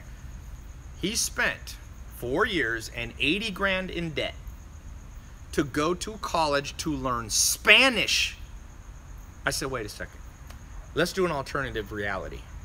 You could have traveled to Spain or Argentina or Puerto Rico or Colombia. You could have learned fluent Spanish from native speakers, gotten a job in that country, gotten paid, lived in awesome country. You could have lived in all those countries three months each. But instead, you went to some school and you can't speak Spanish now because you didn't learn it from native speakers. You weren't immersed in the society that speaks Spanish. Why would you get 80 grand in debt? That's stupid. I know people got an art history degree. You know how you get an art history degree in real life? Go travel to Egypt. Go travel to Greece. Go travel to ancient, uh, you know, go to Machu Picchu in Peru. Then you see it firsthand why you want to learn it out of a textbook when a professor lecturing you on those subjects. Ben wanted to ask you if you wanted to do that. Yeah, we can do that maybe. Okay. So, for some people, college is a genius idea. For many, it's an idiotic idea. I'm gonna reset this Instagram here.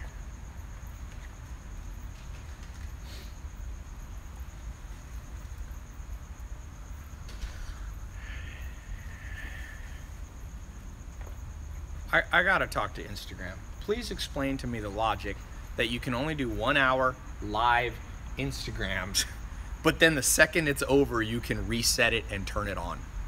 I'm going.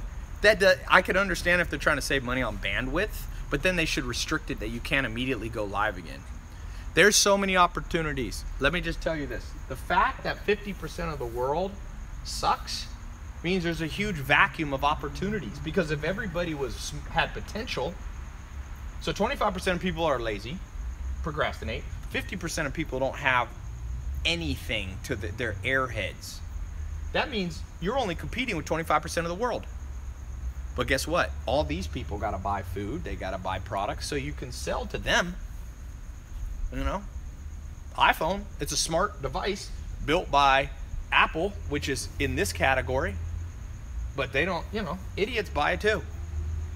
So you can make money from 100% of the human population, but you only have to compete with maybe 25% of it. That's why there's never been a time to make more money. But you need to rewire your brain. These talks I do, these podcasts I do, my social media, you know, some of it's me just doing my life, but some of it is I want to pass on the reprogramming that I got.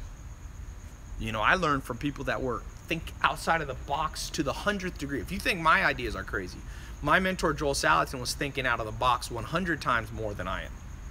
My idea about sending people to France, he already thought of that and has a 10 time better, more crazy idea that would actually work.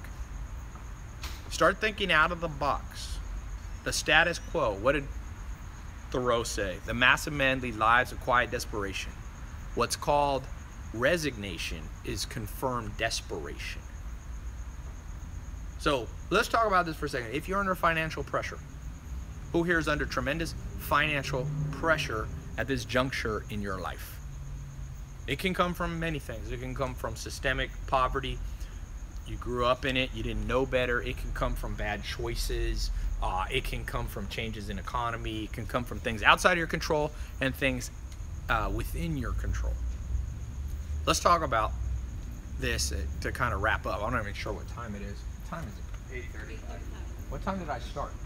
You start around 6:15. Oh, so this is two hours. Okay. L- Let me just say this because a few of you are going to have to go. You have 48 hours if you want me to personally mentor you for the next 12 weeks. I've never offered this before, ever. I've been asked this since 2013. I've always said no, but I decided to take a small test group of people, personally mentor you. We talk on the phone every Tuesday, a small group.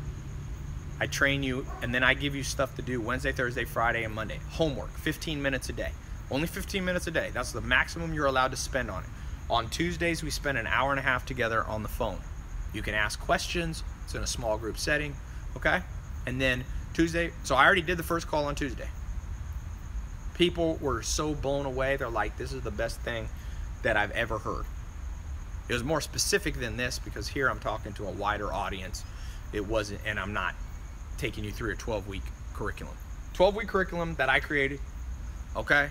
If you don't think I got jack shit to teach you, please don't go. But I'll tell you this I got you watching me.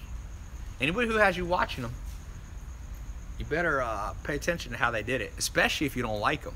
Sometimes the people are like, Tai, I don't like you, but I watch you. I'm like, that shows me how much fucking smarter I am than you. Not to be vain, okay, because I'm not the smartest person in the world. Some of you are smarter than me on this call, and some of you are dumber. But it blows my mind that people don't realize. Wait a sec, I'm. That's why the Kardashians, they are laughing. Did you see that the youngest Kardashian, Kylie, Kylie, has made $400 selling makeup? All those shit talkers about the Kardashians is free PR. You know how expensive PR is? In Los Angeles, if you try to get a top PR agency to you pay them to give you viral press, it will cost you between twenty and two hundred thousand dollars a month. Okay, twenty two hundred thousand. Do you think that the Kardashians have a PR agency? No. All the people out there here that suck sit there and write on their own Facebook, Instagram, Twitter, YouTube about the Kardashians. 25% of people see that and go, hmm, what is that? And go buy Kylie's lip gloss and Kim Kardashian's phone case and her download. And other people are poor and can't figure out why. And I'm like, cause you making Kylie Card, you making Kylie Jenner rich, over 400 million bucks in lipstick kits. She's 18, or maybe did she turn 19 now? So all of those you who are critics, eternal critics, you go and you talk about other people. We love you. We thank you. And you should send us an invoice because I probably owe you money. There's Reddit threads about me. There's theories. But the, the viral videos where like people are making fun of my hair in my garage, they don't realize I encourage those. Encourage those. I got over 1 billion impressions. People are like, Despacito? Okay, that got 3 billion. But the Despacito guy didn't make any money from that YouTube shit. That goes to that goes to Vevo. I got a billion impressions. I encourage it. Remember I told you about be thick skinned? Go into the fray. Go into the battle, man. I don't care. People talk shit about me. Any of those people come in person, I will blast them, embarrass them on live call. I'm like, all you people who talk shit about me, come have a debate with me one on one. You want to see? You want to have a battle of the wits? Good. I'll put in front of 300,000 people. I will bake your ass. I'll fucking deliver you back home to your mommy. But I want it. I crave it. I need it because I don't want to spend 20 grand. All the French people that are going to now get mad about me saying that French people are annoying as shit, French guys are, which they are in my experience, they're going to be writing all over French uh, French version of Reddit. This fucking Tai Lopez guy. And guess how much my bill will be in France? Zero. And guess how much viral press I'll get? It's the best thing that can ever happen to you. If you ain't got haters, you ain't popping. Millionaire mentor mindset. One of the things you'll learn is how to get thick skin, how to encourage it a little bit. One of my favorite stories, Shaquille O'Neal, the big basketball player, seven foot two, 300 pound guy. He, uh, first, one of his first years in the league, he played against a guy named Hakeem Olajuwon. Hakeem Olajuwon was an OG. He was from Africa. He, he was, I think, from Nigeria. He played for the Houston Rockets. And Shaquille O'Neal was used to being able to bully people. Boy, he used to throw elbows when he played in college and high school. And he said, I'm seven foot two, 300 pounds. When I elbow somebody, people get scared. And he said he was playing basketball his first year against Hakeem Olajuwon, and Hakeem he came down and he threw an elbow and hit Hakeem Olajuwon right in the chest as hard as he could with his elbow. And he said Hakeem Olajuwon, when they were running back after the play, whispered to his "Go, ah, good one, try it again." He psyched out.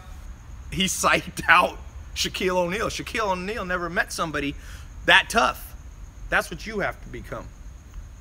Some of you to start a business, you go bankrupt, you call up the banks and be like, hey, you're to foreclose on me now. You'll be, when I'm in Forbes, I'm to write a fucking, what's your name? Oh, Bob, you work at Bank of America? You about to close down on my business? You won't give me a second chance? I'm to write a story about you one day. I'm to embarrass your ass in front of all the people who read my Forbes article.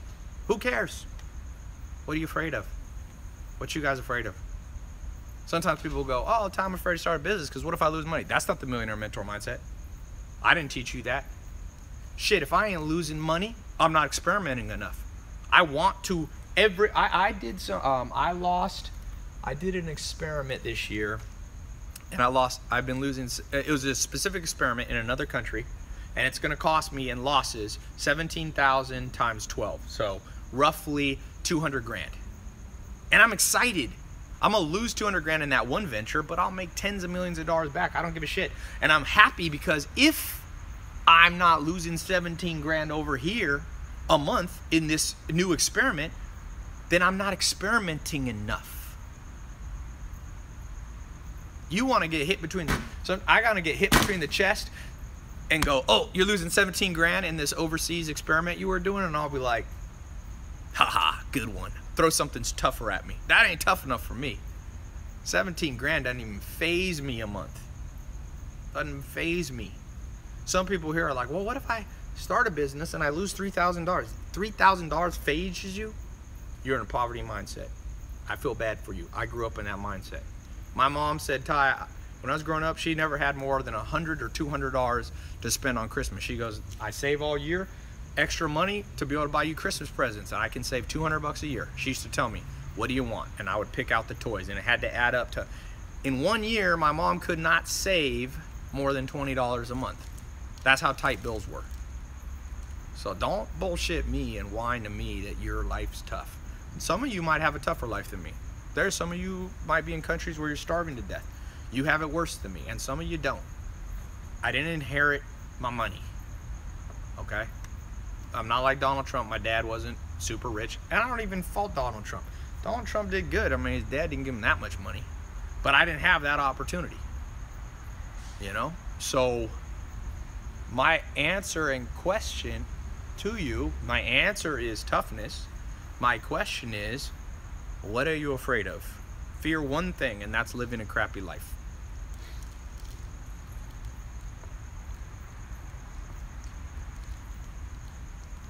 Somebody said, no one's starving to death if they're live streaming on their phone. Yeah, they might be live streaming on someone else.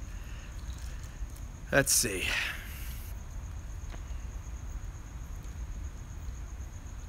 Tai Lopez is a motivational speaker, not a businessman. Shit. You don't know shit. I just started a business, another business last month, uh, last year, October. It's already making a million bucks a month. I'm a fucking businessman, son. You know how many hours I put into that business so far? Under 30 in eight months and making a million dollars a month. What do you mean? I'm a smart businessman. I know how to make 10 times the money with a tenth of the work. Motivate. I'm not a motivational speaker. No, sir.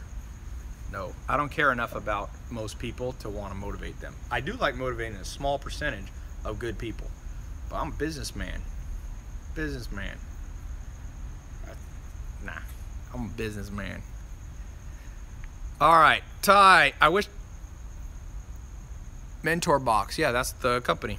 Mentor Box. This thing will be on the four, this will be on the Inc. list.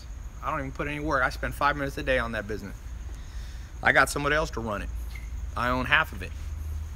It's not bad, right? It's probably worth $50 million in eight months.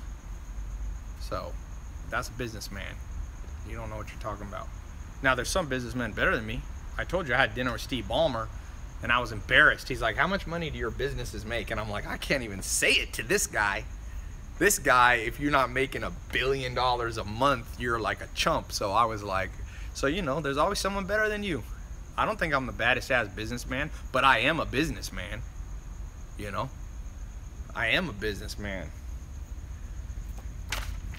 I just don't. Some businessmen talk. You know what? I more talk about my lifestyle. So people think my life's all about Lamborghinis and Ferraris. I'm like, where do you think the Lamborghinis and Ferraris come from, man? Businesses. Come on, man.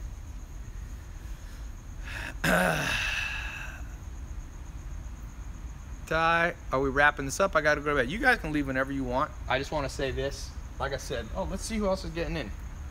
Let me congratulate some more people who actually take. I told you I'm down for the people who are down for me. The rest of the people. Faisal got in. Texas. I get a little list here you guys can see. I use Yahoo. I hate Yahoo Mail, so I use it to get alerts. Nicholas Gaspari, New Jersey. Congratulations. You, you were uh, applied for the Millionaire Mentor Program. Jesse Fabian, California. That's the first person in California that got in, my hometown. Timothy Driscoll, Maryland. Congratulations. Welcome to the program. Greg Amos. Congrats, Greg. Where does Greg live? Oh, there's a pic. Sometimes people send in their picture. They can attach it to their profile when they make a login. So that's kind of cool. Greg, where are you from? Missouri. Missouri. Chris Chumani, I think that's how I say it. Washington, not DC, Washington. Denise Joss Jocelyn. I like to see females becoming entrepreneurs too. It's not just men. Washington. It's the odds. We got two people from Washington at the same time. Christopher Cook. Oh no, that's the 67 steps. I have other programs too. Bronson Nishikita. Is that Asian name? That is it. Bronson and Nishikita. That's interesting. Jose Escobar. Ah, Pablo. You know El Chapo? New York. What's up, Jose Escobar? Monica Buenrostro. Oh, there's a picture. She's pretty. Doesn't matter. You don't have to be pretty to be in this, but someone would be a butt hurt that I said she's pretty. Nolvin Madrid sent in a picture. Congratulations. Where are you from? Florida. I thought this showed age. Jorge Gonzalez. Oh no, that's for the social media program. We got different programs. I get alerts for all of them, but I'm just reading the ones. Pedro Lontop. There's a picture. Congratulations, Tennessee. Give me 12 weeks. Change your life. Tai, were you born rich? I'm just gonna start telling. You know what I'm gonna start doing? Just telling people. I'm gonna. One time I did a live stream. I was like, everything's rented. You know, this isn't even my real hair. This is a wig.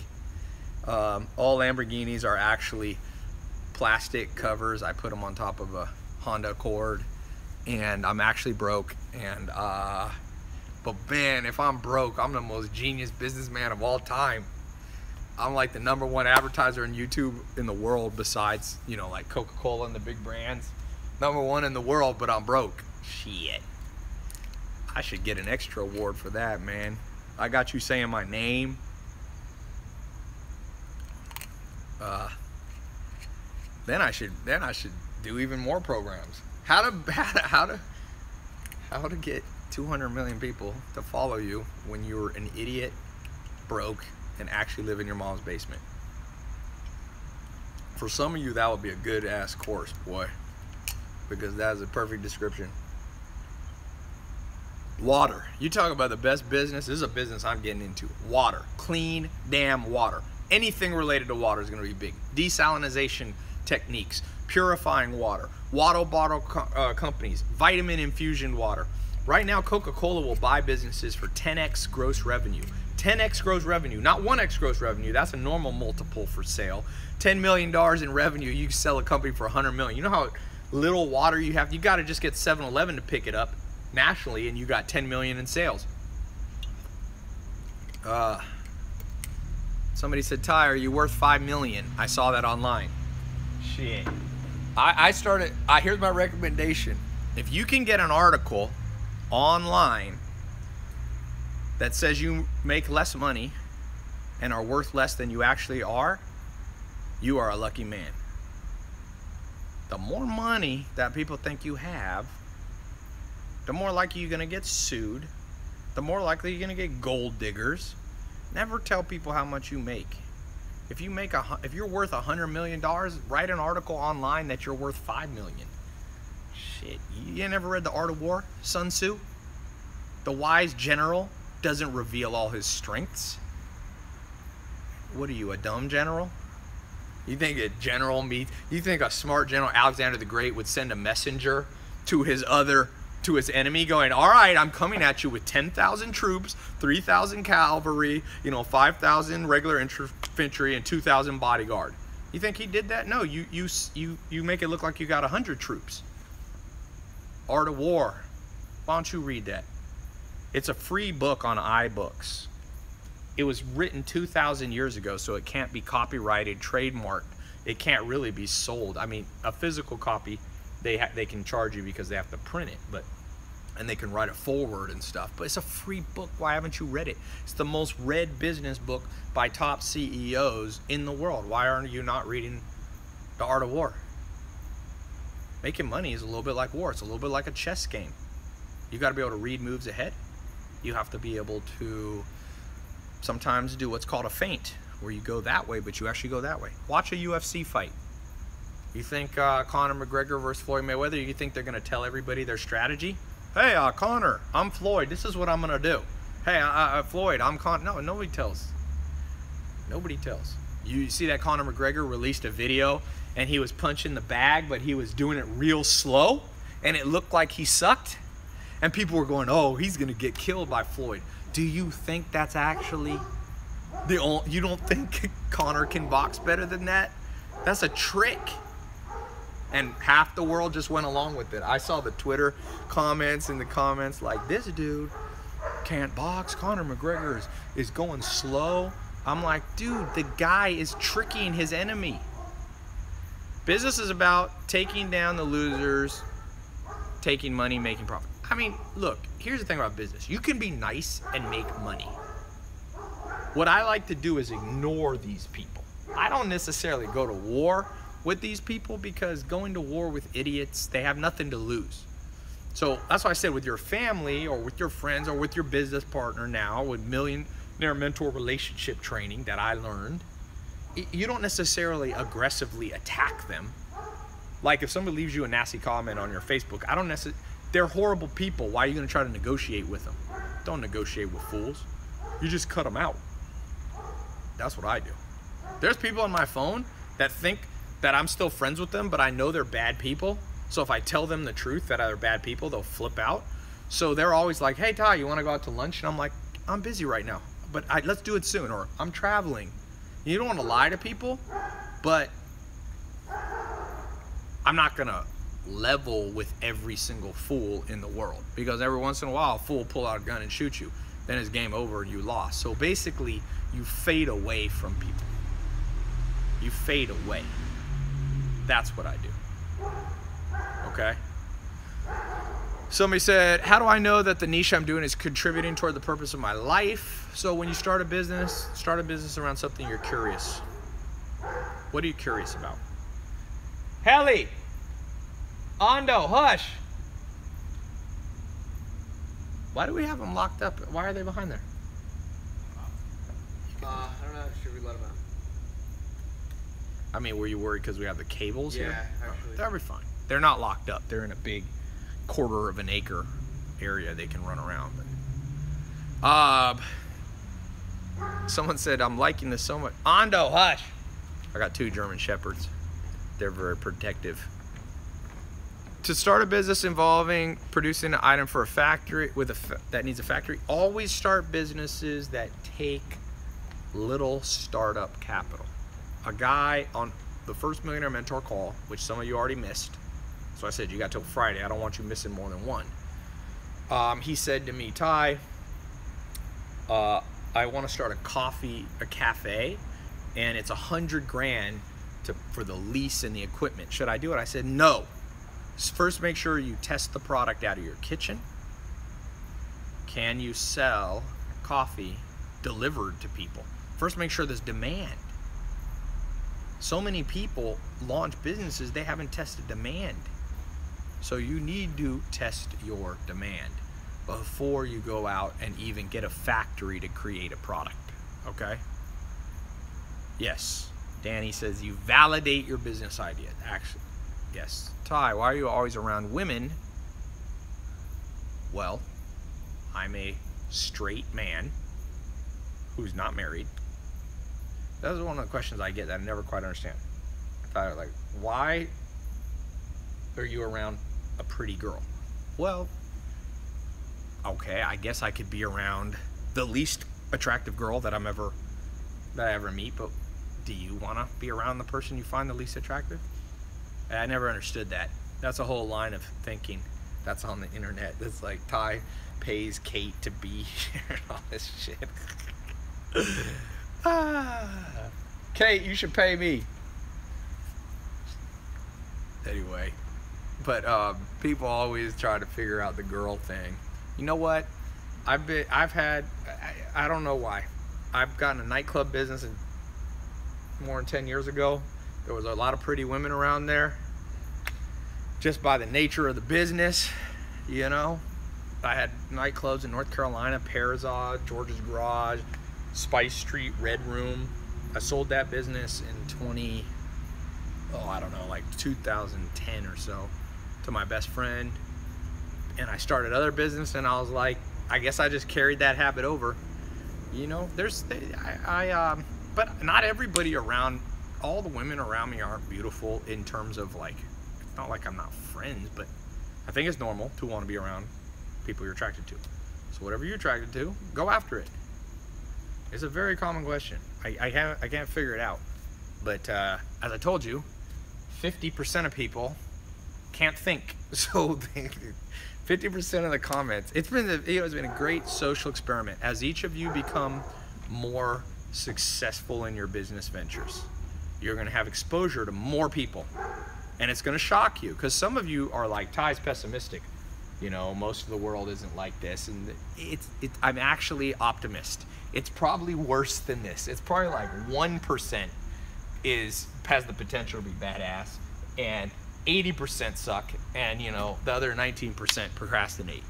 So, yeah. Um, yes, the hardest to thing to do is think. Tai, what if you're young and you can't afford the Millionaire Mentor program? What do you do? Well, I got a free call. This is a free call. You do with what you got. But I'm going to tell you this people find money for things they really want. In my life, when I've had a definite, concrete goal and I've set my mind towards it, I was actually talking to my CPA today because I'm working on two big real estate projects. Um, one is a farm in Virginia, and one is a big piece of land in Los Angeles County. And um, they're expensive, man. They're big, big deals. These are not like one million dollar deals. These are, you know, eight figure deals and I'm trying to do it all by myself without really having investors or anything like that. And so I said to my one of my CPA, John, uh, one, I have a couple CPAs who work for me, but this one is the, kind of the senior guy. I said, whenever I set my mind upon something with a concrete goal and enough time to fulfill it, I'm able to pull it off. That's my life experience. It didn't matter what the amount of money. Um, a few years ago, I had to pay somebody back. I had, we had a business. It wasn't a loan, but it, it got complicated, and we weren't business partners yet. And they decided they wanted to do something else, and they're like, "Can you buy us out for 1.5? Ty, I want you to buy me out for 1.5 million bucks." And this is this is years ago, and at that point, that was a lot of money. I mean, 1.5 million, you know, it's a chunk of change, and um, I was like, okay, and I, I, we picked a date, and I set my goal, and I paid it off early. But if I hadn't had that goal, I would not have even.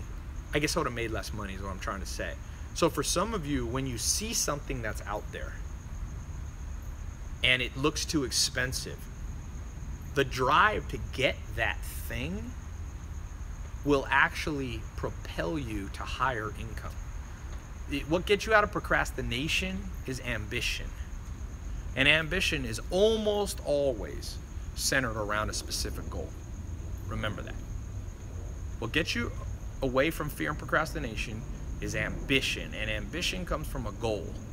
And it's usually a finite deadline dollar amount goal. So I'll give you an example.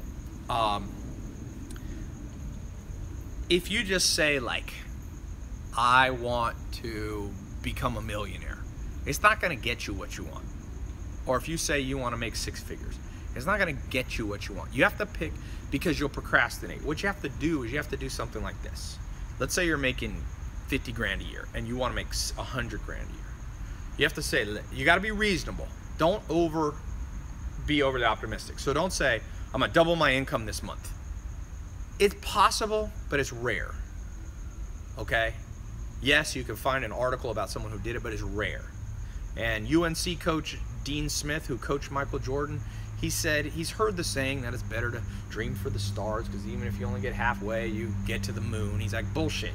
Set a realistic goal, hit that goal, and then set a new higher goal. So what, what I would do if you're making 50 and the goal, the vision is that you'll be making 100 grand a year, say what's a realistic time frame? If you were advising somebody beside yourself, a younger brother, a younger sister, what would you say to them? Would you advise your younger brother who's making 50 grand and wants to make 100? Okay, set the goal that next week you'll have doubled your income. No, you wouldn't tell them that because you're going to give them good advice. You'd say, let's set a goal 18 months from now, three years from now, two years, something like that. I'd say 18 months to three years is realistic to go from 50 to 100 grand. Okay? And then you say, all right, let's divide it up. You're at 50, you got to get to 150 in three years, 36 months. Divide that uh, by the 50 grand increase in income you want. So, what does that basically mean? That means you need to, in the next year, you need to go not from 50 to 100, you only need to go 50 to about mm, 65, right? 65, 70. And then the year after that, you need to go from 65, 70 to about, you know, 85. And then the last year, you make the jump from 85 to a little over 100 grand. And so that is extremely important that you think that way with your goals. And and that's what creates hardcore motivation, which breaks procrastination. And it's that ambition. And what's even better is if you can pick a tangible item that's a little bit selfish. Not too much, not too selfish. Okay? Not too selfish. Like you don't want it to be um you know, uh, I want to have a hundred grand a year so I can just freaking do blow and sleep with hookers or something like that. Because goals like that, they be, they're too edgy.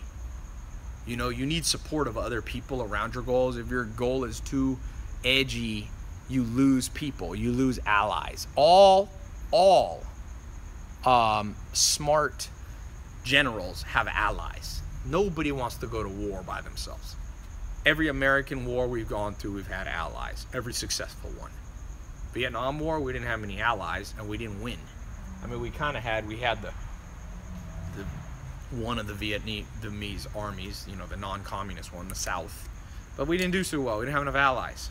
World War II, we we won, and we had England, we had France, we had Australia, we had New Zealand, we had Poland, we had Russia, we had well Sweden was neutral, but Norway, we had we had the Dutch, we had um, I believe Greece was an ally, Romania I think was one. They were attacked by Nazis. Even the Czech Republic, they Czech Republic was in Nazi hands, but they were anti-Nazi because you know they didn't like Hitler. So you got to ask yourself do your goals have potential allies? And the way you get allies is having goals that aren't too extreme or too selfish. So it's okay to have a goal that you want a Lamborghini. But a better one would be like, I'm living in a little house with my family and I got kids and I want to get a place with double the square footage so my kids got a backyard. And of course, there's some selfishness to that. You know? there is some selfishness to that because you want to live in a nicer place yourself. but I like those goals that are aligned with other people. Is the goal of financial independence after college too extreme? Well, it depends. How much debt did you get in college? How quickly after college? You know what I'm saying? Hey, uh, Mel, tell Kate to come here for one second. Is she in there? Okay. Where are we? Anyone? Uh, what's an advice that would give to your 20 year old self? Man, if I could go, I just find more mentors. I know that I've said this over and over, and people want a different answer. They want some magical answer. Look, how would you become a better heart surgeon? You learn from a better heart surgeon. That's all. You want to be a badass mechanic? I got I got the exact answer for you. Go find a badass mechanic who's 20 years ahead of you in what they know. You want to do real estate? Go find somebody that's 20 years ahead of you in real estate. What else? You, what's your other plan? Take a community college class? That- That's some people's plan. some people are like, I want a job. So my plan is to get an art history degree from college. That don't get you. First of all, what job are you getting? Are there a tremendous amount of art history jobs? My friend want my bro, my family member got a Spanish degree. What job did he want? I don't know. You one of the seven habits of highly effective people. You have to have the end in mind. What's the end in mind for you? Have you thought about that? What's the end in mind? You have to have the end in mind at all times. Tai, how would you know if it's the right mentor? Well, here's the deal mentors are just like this 50% of them that you think are good will turn out to not be good. So give yourself some time. Over time, the truth will come out. Tom, in the accelerator, ESK and SMMA, it's a good idea to join Millionaire Mentor. I think so. This is a different. This is different. All those are good. This is where the only program that I'm personally mentoring you in live versus pre-recorded. TaiLopez.com slash apply. Someone said, I want to become like Tai. okay. I don't think, don't become like me, man. Become your own version of whatever the hell you want. Take, pick and choose from me. Some of the things that I talk about will be advantageous for you, and some things won't. You know? A lot of people are looking for perfection in a mentor. I don't. Some of my mentors are bastards, and some of them are saints. Doesn't mean I can't learn from them. Does your personal trainer have to be a, a freaking god eh, who, who lives only for charity? No, your personal trainer could be an asshole, but if they're a good personal trainer on that specific subject, you can learn. Why don't you work with Mark in there? Because I'm going to come in there after to work out. Are you not allowed to sweat? Yeah, I can't sweat. Just do it without sweating. Okay. But tell him to set up in there because I'm about to be done. I'll be in there. Here, come say hello in here.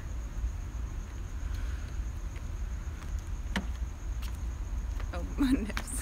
Look how dark Kate's face is. Wait. Dang, I look good. No, you don't.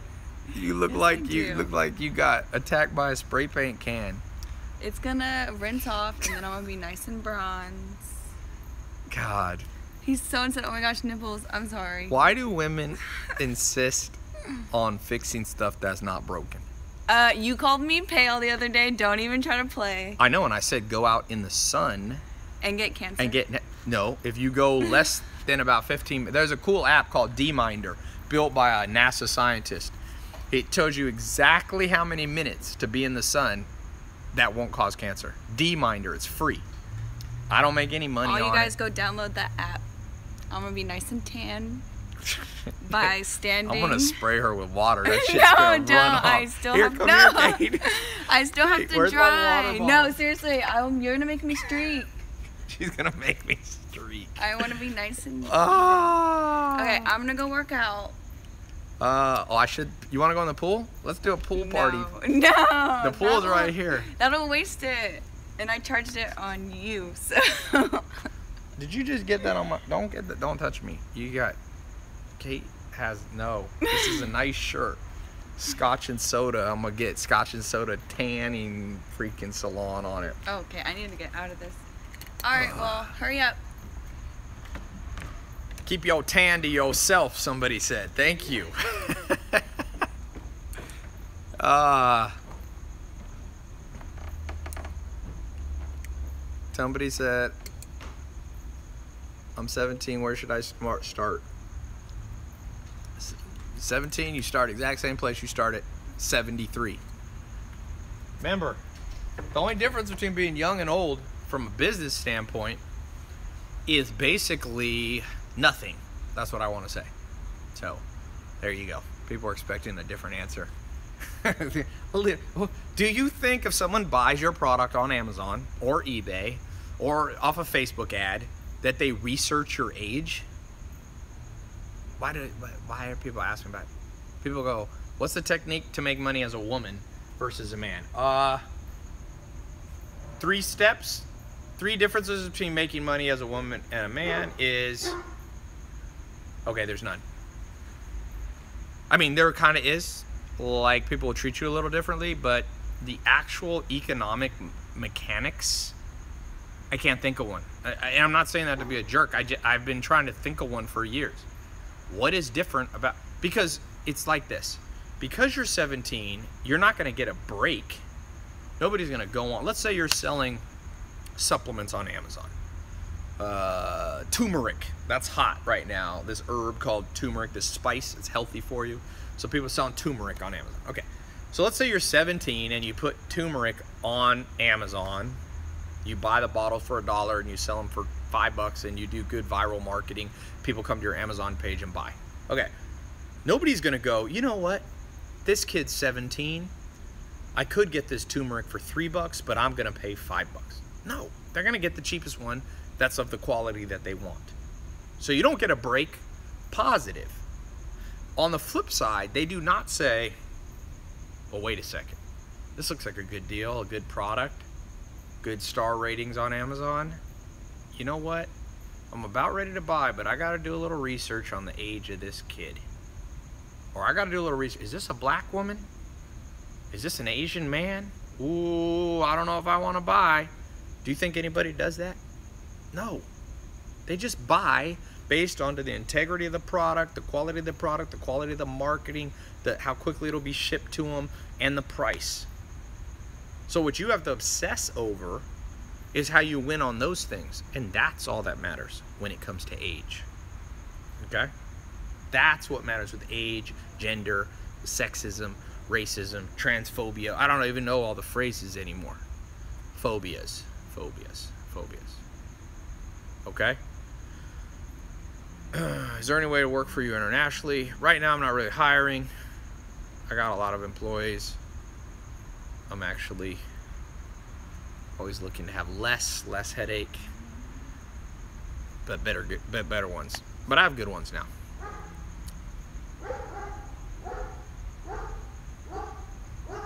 What should you do now that you're out of high school and have five grand? Well, five grand in some ways is a little bit of money, and in other ways, five grand's a ton of money. So don't spend it too fast. How fast did you become wealthy? You know, I spent about seven years learning from mentors, not trying to make any money. So if you count those seven years, I had seven years where I wasn't really trying to make much money. I was just learning. After those seven years, it took about three years to really start to make like six figures, maybe a little less than that. So I consider those seven years was, you know, seven years was somewhat of a training program. I don't know that I need that seven years. I would have needed the seven, but I enjoyed it and I was doing stuff. Someone said, Tai, make a millionaire in person. Done it before. Would you recommend investing in stocks? Yeah, but you gotta learn it. You lose a lot of money in stocks, and you can make a lot of money. It's more about the educational level and the skill level. It's kind of like basketball. Can you make money with basketball? Uh, yeah. Can you not make money with basketball? Uh, yeah. What's the difference? If you're good at basketball. Can you make money playing soccer? Yep. Can you not make any money playing soccer? Yep. So someone said, Tai, I learned stocks. It was a waste of time unless it's long run. Well, not really. You probably didn't learn very well. That's that's not really true. There's people make money in stocks. Depends your depends how much capital you start with. Depends how much risk you're willing to take. Some people, the stock market, the second it goes down, they sell. So they sell low and then they rebuy when it's high. That's the real problem, you know. Tai, do you make most of your money from affiliates? No. Nope. That's not a that's not a large part of my income per year.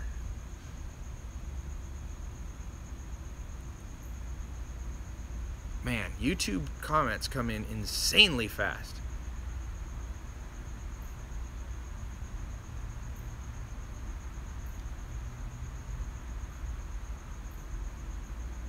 In regards to digital marketing, which industry would you say is currently the most profitable? Oh man, too many money Everything about there's too many money making opportunities. The issue is not finding one. The issue there is money in whiteboards and this and burrito. Everything that I put in front of you, this water, somebody would be rich. This business right here, this is I want to get equity in this company because I've been doing free marketing without even knowing it because I always post snaps of the this company probably making I have no idea, but I'm guessing they're making two to ten million bucks. Some dude in Texas like got his mom's recipe and made this little bottle. I love these businesses. I swear I'm pissed that I didn't start this. It looks kind of cool. It's got a little picture. Shit, you could get anybody to draw that on Fiverr for five bucks, make this label for you. It's got a cool little seal and it tastes good. But all that's in it's habaneros, vinegar, cayenne peppers, Spanish paprika, garlic powder, onion powder, guar gum, salt.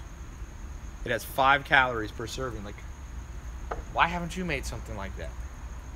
It's easy. You can make it in your kitchen. You can test it in kitchen, test it on your family till you find the recipe that everybody likes.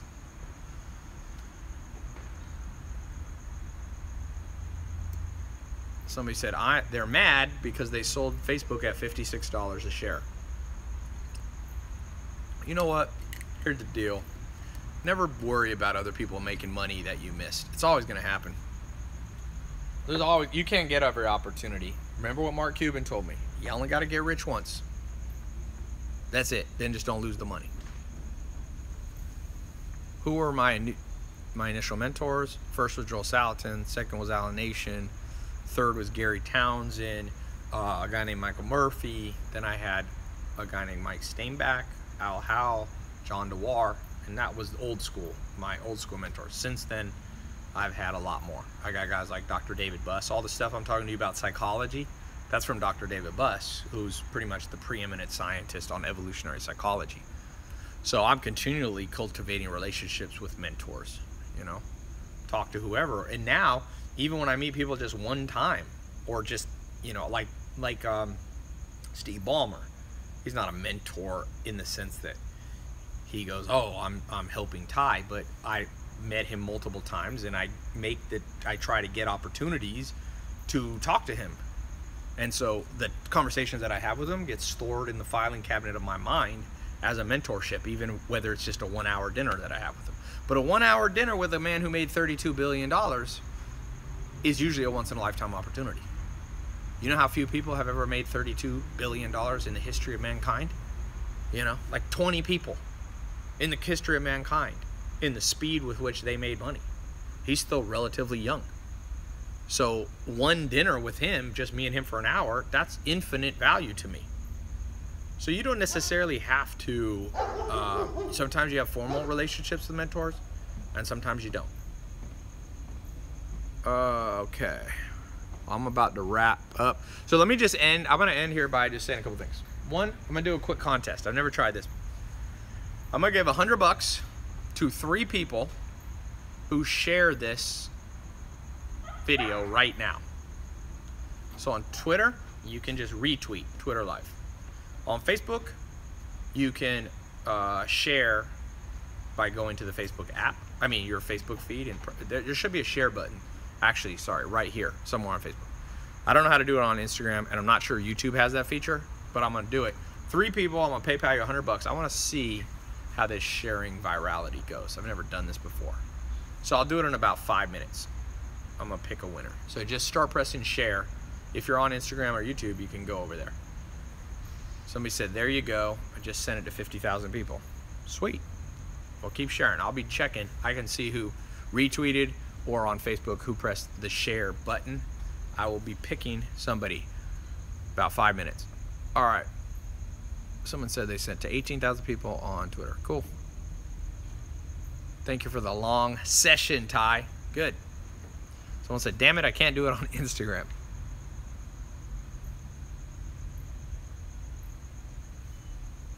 Always be experimenting. Little millionaire mentor tip for you guys today. Another one.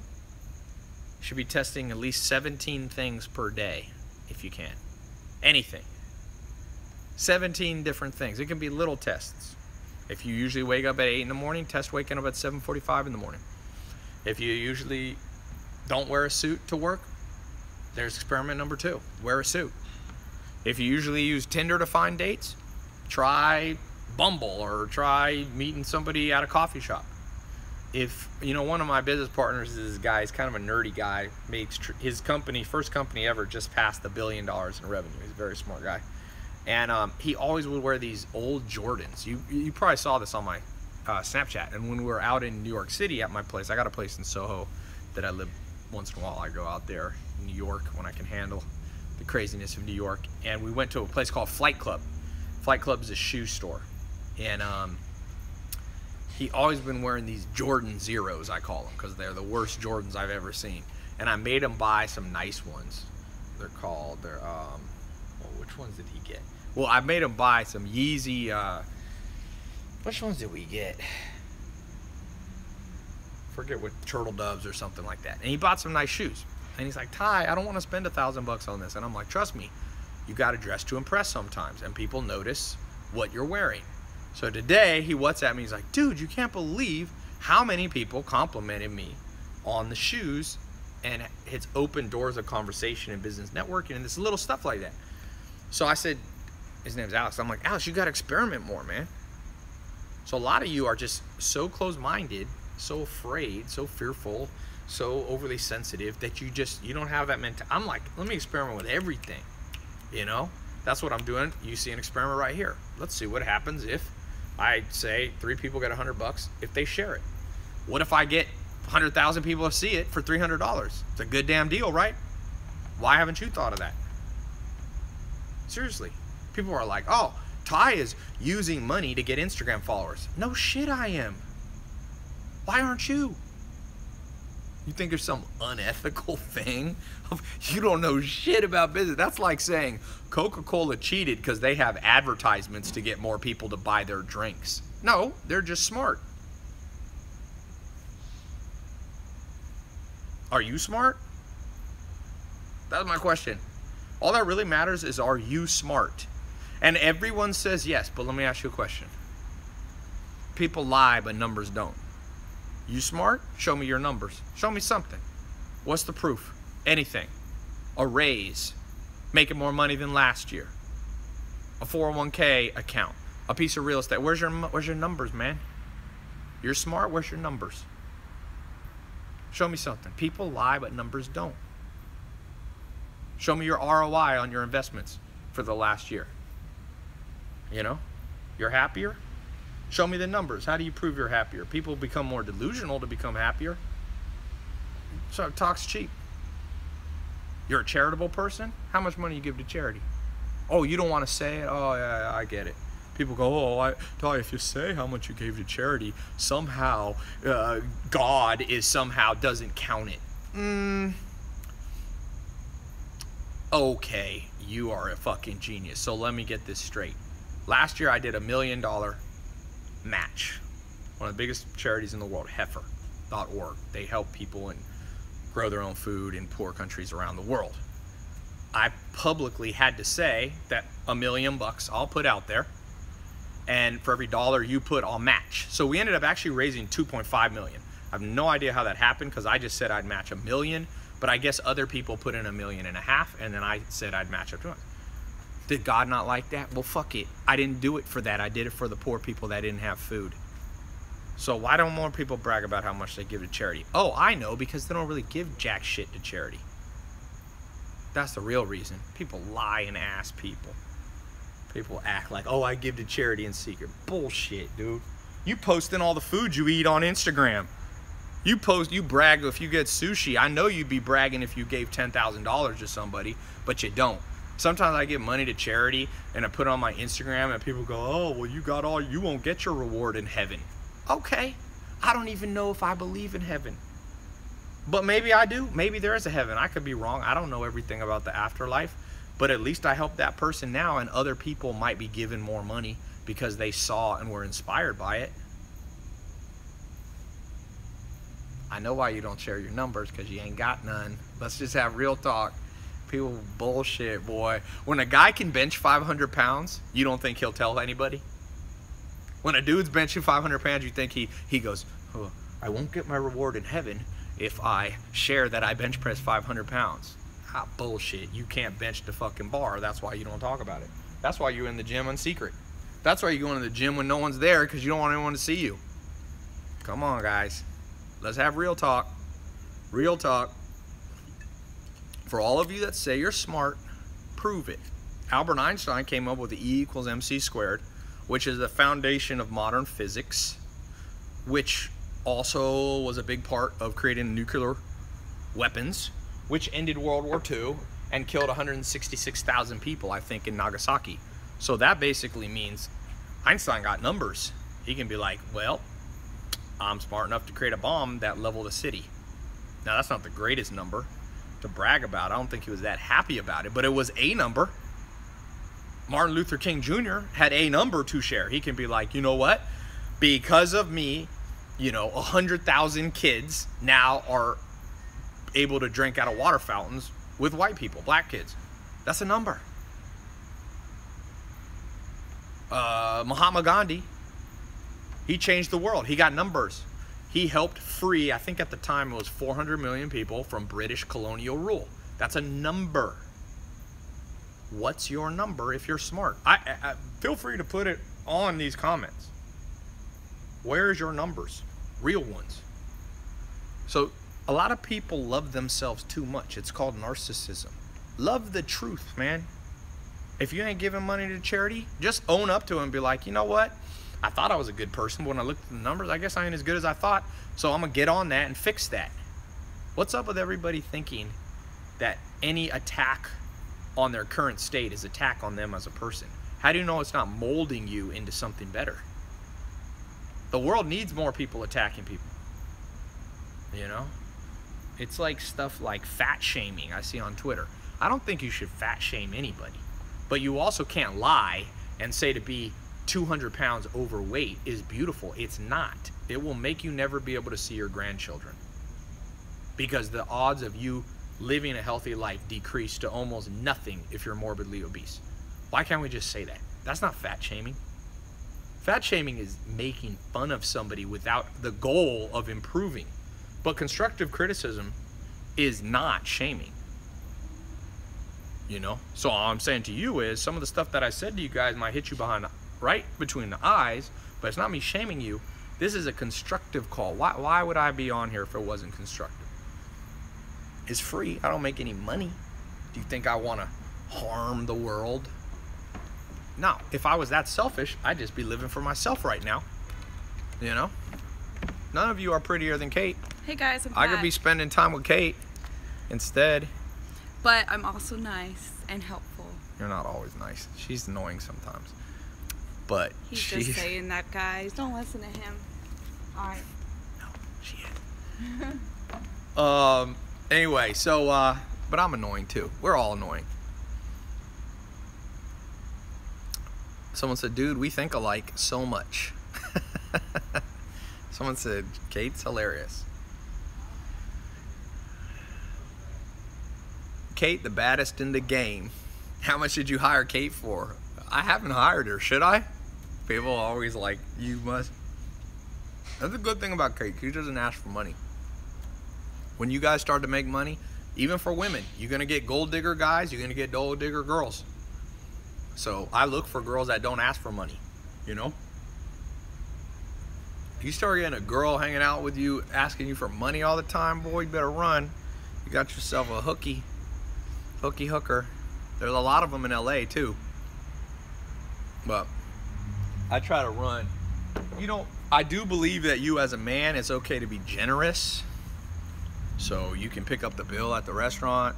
You can surprise people with some nice clothes, but you don't want a girl that's asking you for money. You know what I'm saying? That's uh I'm not saying she's a gold digger. Somebody said, Tai, I'm not sure why I'm watching this. Cause it's damn entertaining. That's why. Why else would you be here? I like to taunt people sometimes. Don't do it too much. Too crazy of a world. All right, I'm gonna peace out here. Again, you got till Friday. TaiLopez.com slash apply. See if anyone else got in while I was doing this talk. My goal is to take 300 people from rags to riches. But you want to pick three people? Oh, I gotta pick these three people. Yeah, yeah, yeah. All right, so I'm gonna have to reset my stupid Instagram in their dumb one hour. uh, Instagram, you killing me. Hey, the world's so brand new. There's opportunities even at the top where they're doing stuff wrong, man. These big companies, just because they got a billion dollars, they still do stupid stuff. That means there's a hole in the market that you can fill. You might not be able to create the next Instagram or Facebook, but you don't need to. Mark Zuckerberg doesn't even own all 100% of Facebook. So if you own 100% of a smaller company, you still can have a lot of money. The goal is not whoever dies with the most money. That's not a good goal. The goal who is whoever lives the baddest ass life. That's what you ask me. I know people make more money than me, but I wouldn't trade lives and they would trade for mine. Always ask yourself, would you trade for their life and would they trade for your life? If they trade for your life, then you're doing something right. If you would trade, the only people life that I would trade for, pro basketball players. I love basketball. Every time I hang out with my friends that play in the NBA, I'm like, damn it. That is the only people that make me jealous. I mean, nobody else makes me jealous. I I know billionaires. I don't, I don't I like Steve Ballmer, but I wouldn't want to be Steve Ballmer.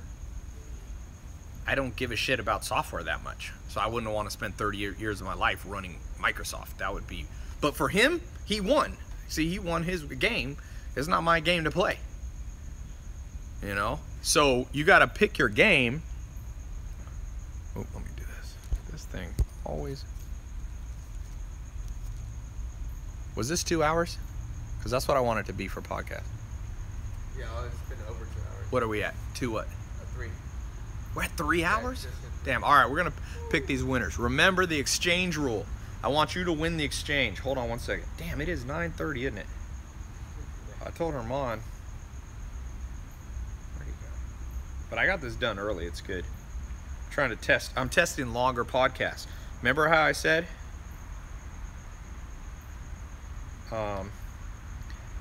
Remember how I said 17 experiments? This is an experiment. I've never done really a three-hour webinar. I'm just like, but I'll do everything once. Who wins the game of life? Not who has the most money, not who has the biggest company, not who has the most Lamborghinis. Although it'd be cool to die with a lot of Lamborghinis. I have to tell you. All you people don't like Lamborghinis, I know why, because you ain't never driven one.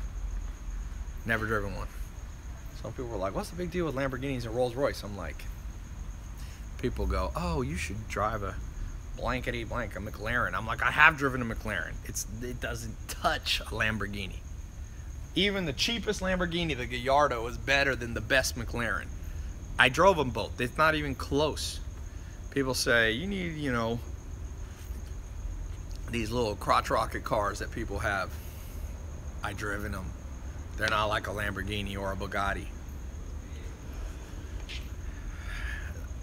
Cheap Lamborghini around 100. No, cheap Lamborghinis are not 100 grand unless they're used, not a new one. But that's not the goal because some people don't care about cars. The goal is the baddest ass life by your definition. So as long as you, it's like for some people, baddest ass life would be wife, three kids, husband, three kids, live in the suburbs, be chill. That's your, okay, you won. You won the game against yourself. It's only a game against yourself. Who knows? Some of the smartest people in the world think that everyone else might be an illusion. It's possible. Even Bill Gates once said, it's possible that the universe only exists for us. He meant himself. He said, if so, it's going pretty well for me. That's what Bill Gates said. So there's a possibility that I'm a phantom, that I'm an illusion, and that the world just exists for your purpose. So it's a competition against you because we don't you, is the only reality that we truly know. Even the philosopher what's the great philosopher said i think therefore i am. He could only prove his own consciousness through his own thoughts. He couldn't prove that anyone else was real because he, he couldn't be inside their mind inside their consciousness. Now that's a poor boy explanation of i think therefore i am. You know descartes and these great thinkers but i'm saying to you it's competition with you. Are you winning the competition right now? Are you? I don't know if I am, but I'm doing better than I was last year. That's what I care about. I have not won yet. There's things I want to do, and I don't think you want to win. When you win, you want to die. You know, it's like retiring. People, people, I want to retire young. You mean you want to die young? You know how many people die right after they retire and lose all the challenges Like. Why do you want to retire? Joel Salatin just said, pick a job that doesn't feel like work. That's what I like. This doesn't feel like work. I'm just talking like I would talk. I'm talking to you guys like I would talk to old friends sitting around, you know, a fireplace, a barbecue, shooting the shit on a Saturday. We just talking. So, quote unquote, I guess this is me working, but it doesn't feel like work. It doesn't feel like work if you do it right. Tai, what's your opinion on marijuana? Avoid extreme ideologies. Those of you who are obsessed with marijuana, you're wrong. And those of you who hate marijuana are probably also wrong. Marijuana, like, you smoking every day, for the most part, you're destroying your brain physiology. There's some people like Snoop Dogg. I, he was in the the football game that I played in. So this dude's doing good. He smokes marijuana all the time. So it's an individual experiment you got to run. Clearly, he's doing okay with weed. I think artists sometimes it, it works, but I've tested it for myself. If I smoke too much weed, I am a worse businessman. I have a harder time computing numbers and marketing. So you don't be don't be in love with anything. Some people I meet, they're like so loyal to marijuana. I'm like, it's a plant. Okay? It ain't real. It's not like it's your mom that you have to defend her. It's just a fucking plant. You know, there's other plants that Indian use.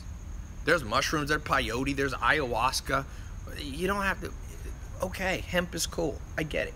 And then there's other people that think marijuana is the end of the world. It ain't the end of the world. I'll tell you this: you have a house party, and you have a choice between a whole bunch of drunk people and a whole bunch of people smoking weed. Give everybody weed. I mean, don't break the law, don't go to jail, but if it's legal, give everybody weed because nobody fights when they're in weed. People just chill. So if I had a choice and everyone was gonna be drunk or high, alcohol, I'll put it this way: alcohol is worse for you than marijuana. I bet you every scientist in the world will agree with that. Boy, alcohol will. My dad was an alcoholic. Destroys more families. It, it, it 70% of murders, or even higher, are when the person was drunk. Almost all murders, statistically, are from alcohol. People don't normally shoot people. Almost all domestic violence, somebody's drinking. So I'm gonna tell you this. That's my opinion on it. If you have the choice, um, and it's legal, or you can get you a legal card in California, you can smoke weed legally now. That's pretty much. And you and you're addicted to alcohol versus marijuana, dude. Go with weed all day long. And every scientist in the world will back me up. Now, as I told you, you can go. You can get too much water. If you drink too much water, what happens?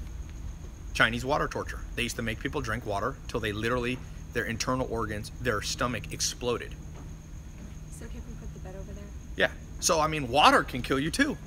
Chinese water torture. They used to do it all the time for centuries. So, avoid extremes, man. Extremes. Some people, some of you guys are in the gym too much.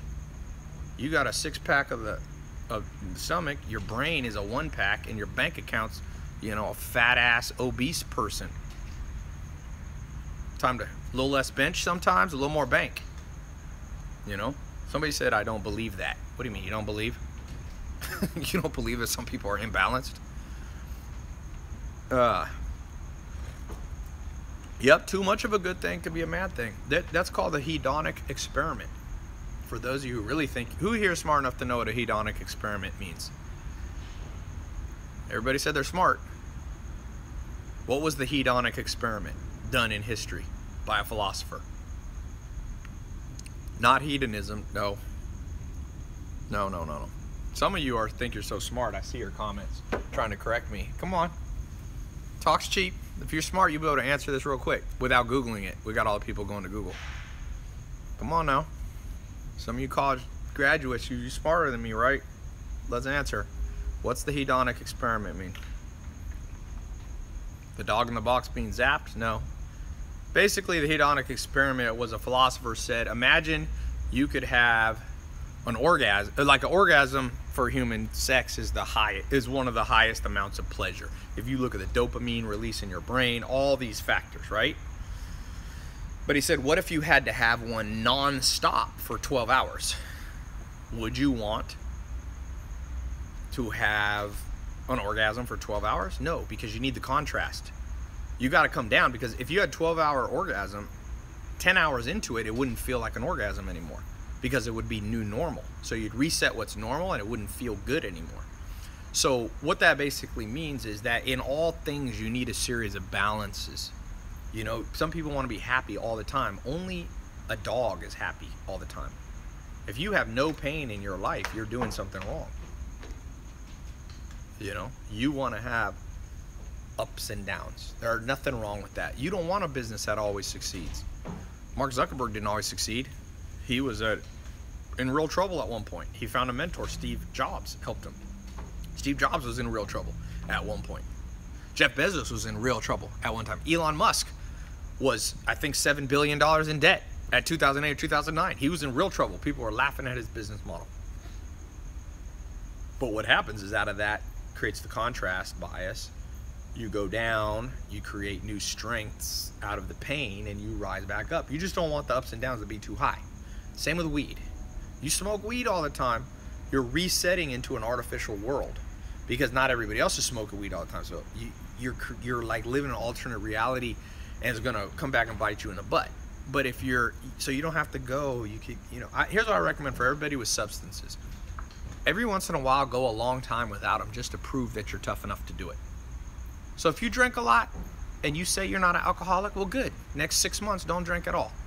If you ain't an alcoholic, it will be easy. Like, I don't love pastrami sandwiches that much. I'm not a pastrami sandwich aholic. So if someone like, Tai, for the next six months, you can't have pastrami sandwiches, I'll be like, okay. Don't mean a thing to me. The toughest piece people in the world, stuff like that doesn't mean a thing to me. I lived for two and a half years with no electricity at the Amish with no running water or toilet. Outhouse. I already done it. So I proved to myself that I'm tough enough to do it. Try it yourself. You know, people go, oh, I, I, I'm tough. Well, then if you love weed, go six months without it. Then you'll prove to yourself it's not an addiction. And then you can do it more often. I mean, some things you gotta be careful with. These opioids and all that heroin shit that's blowing up the world, that'll get you hooked in one thing. But again, even there, society is giving people too many prescription drugs. Period. Now, some people need prescription drugs, but even the top doctors and the scientists in the world, this shit's being overprescribed. You can't give kids Coca Cola at seven years old, 40 to 60 gram drink of sugar, 40 to 60 grams of sugar, which is more than an adult should have in one day. Can't give it to a seven year old kid, tell him to sit in a classroom for eight hours, then when he's hyper or she's hyper, then give him Ritalin. That's some bullshit. How you gonna do that? I mean, that's what I said. Half the world sucks. Half the doctors in the world suck. Half the school teachers in the world suck. Half the policemen. People are like, oh, there's police brutality. No shit. You think normal people want to become police officers? People, that's like saying, Tai, you ain't gonna believe this. I met 10 Navy SEALs and they're kind of violent. Uh, you think it attracts preschool teachers? No. 50% of police officers are psycho. I've been, I used to hire 20 cops uh, a weekend for my nightclubs. Some of them were batshit murderous guys. I remember there was a guy when I first, I got a first nightclub that I really was bigger was a place called Perizot. It was a restaurant turned into a nightclub. I did it for years in Raleigh, North Carolina. It was in Durham. It's still there. And um, the first cop that I had to hire, they were like, I took over from these Colombian guys, like a hostile takeover nightclub. And I don't know if these Colombians paid off this cop or whatever, but I swear for a one year I was watching my back. This cop, I was sure he had a hit out on me. And I've seen cops do shady stuff. But there's also cops that'll save your damn life. If tonight you wake up and there's some robber walking around your house and you call the cops, who do you want to show up? Ballet? ba- yoga? Yoga meditation police officer? Or do you want a dude with a tattoo on his face that's killed three people? Give me the badass police officer. I got security at my house at night. Who do you think I want security? You think I got 130 pound yoga instructors who meditate? I got big ass guys, special forces guys, cops, people who have shot people in the face. So, yes, 50% of people suck. Okay.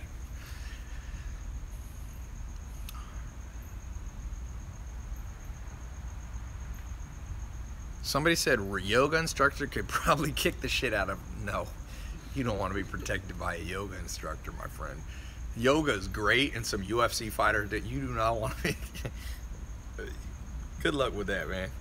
Go travel to down to South America and bring your three yoga instructors, your 330 pound yoga instructors. Go go walk the favelas of Brazil with your 130 pound yoga on, and then when someone comes up to you with guns, you can you can try to get them to do downward dog, and you can roll out the mat and talk about vegetarianism with them.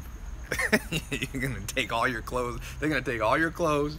You're gonna be naked in the streets of favela, favelas. You'd be lucky to be alive. No, there's a time when you want mean people, and there's a time you want nice people. Tai, do you think the 50% that suck is ever going to increase over time? It already has. This is a low ball number. This is my eternal optimism for the world. Okay, let's do the uh, the three winners.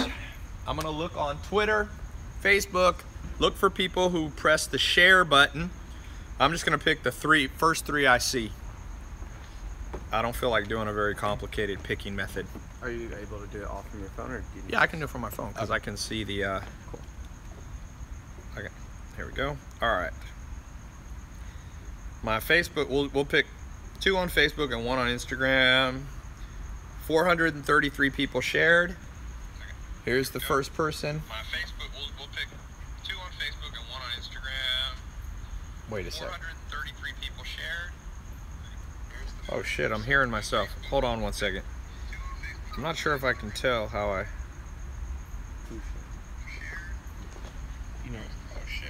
Here, I found the first person. Ranil Chris Ruano. let me take a picture. Number two, Nancy Soto. There we go. Here, I found the person. Nancy Soto. Ranil Chris Ruano. You say their name too. Nancy. Ranil Chris Ruano and that picture of Nancy Soto. Congratulations, Ranil and Nancy. Now let's pick a Twitter person. Periscoping. Who's retweeted? It's easier to pick on Twitter.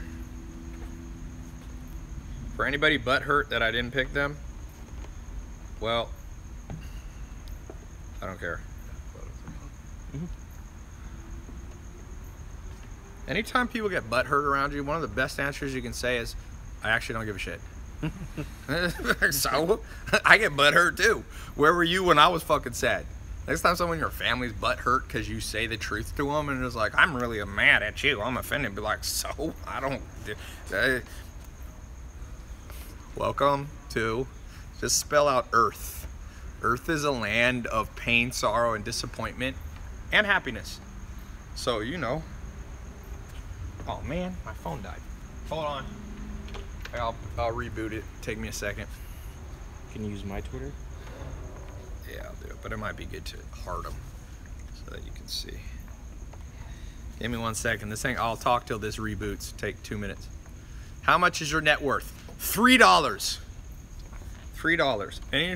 People sometimes, uh, if a girl, ever, guys, if you guys make money, and girls, I told this to one of my buddies who's actually standing here. He said he meets all these girls, and you know, he's a lawyer, and the girls are like, um, what nice restaurant are you taking me to? First of all, that's an automatic disqualification if a girl main goal from your first date is the quality of restaurant. The first date is supposed to be about getting to know the person. So definitely tell them the shittiest place in LA. Be like, we are going to eat cockroaches off the damn 80% F-rated taco stand in, you know, Grungeville. Because if she likes you then, then she's gonna like you on the upside.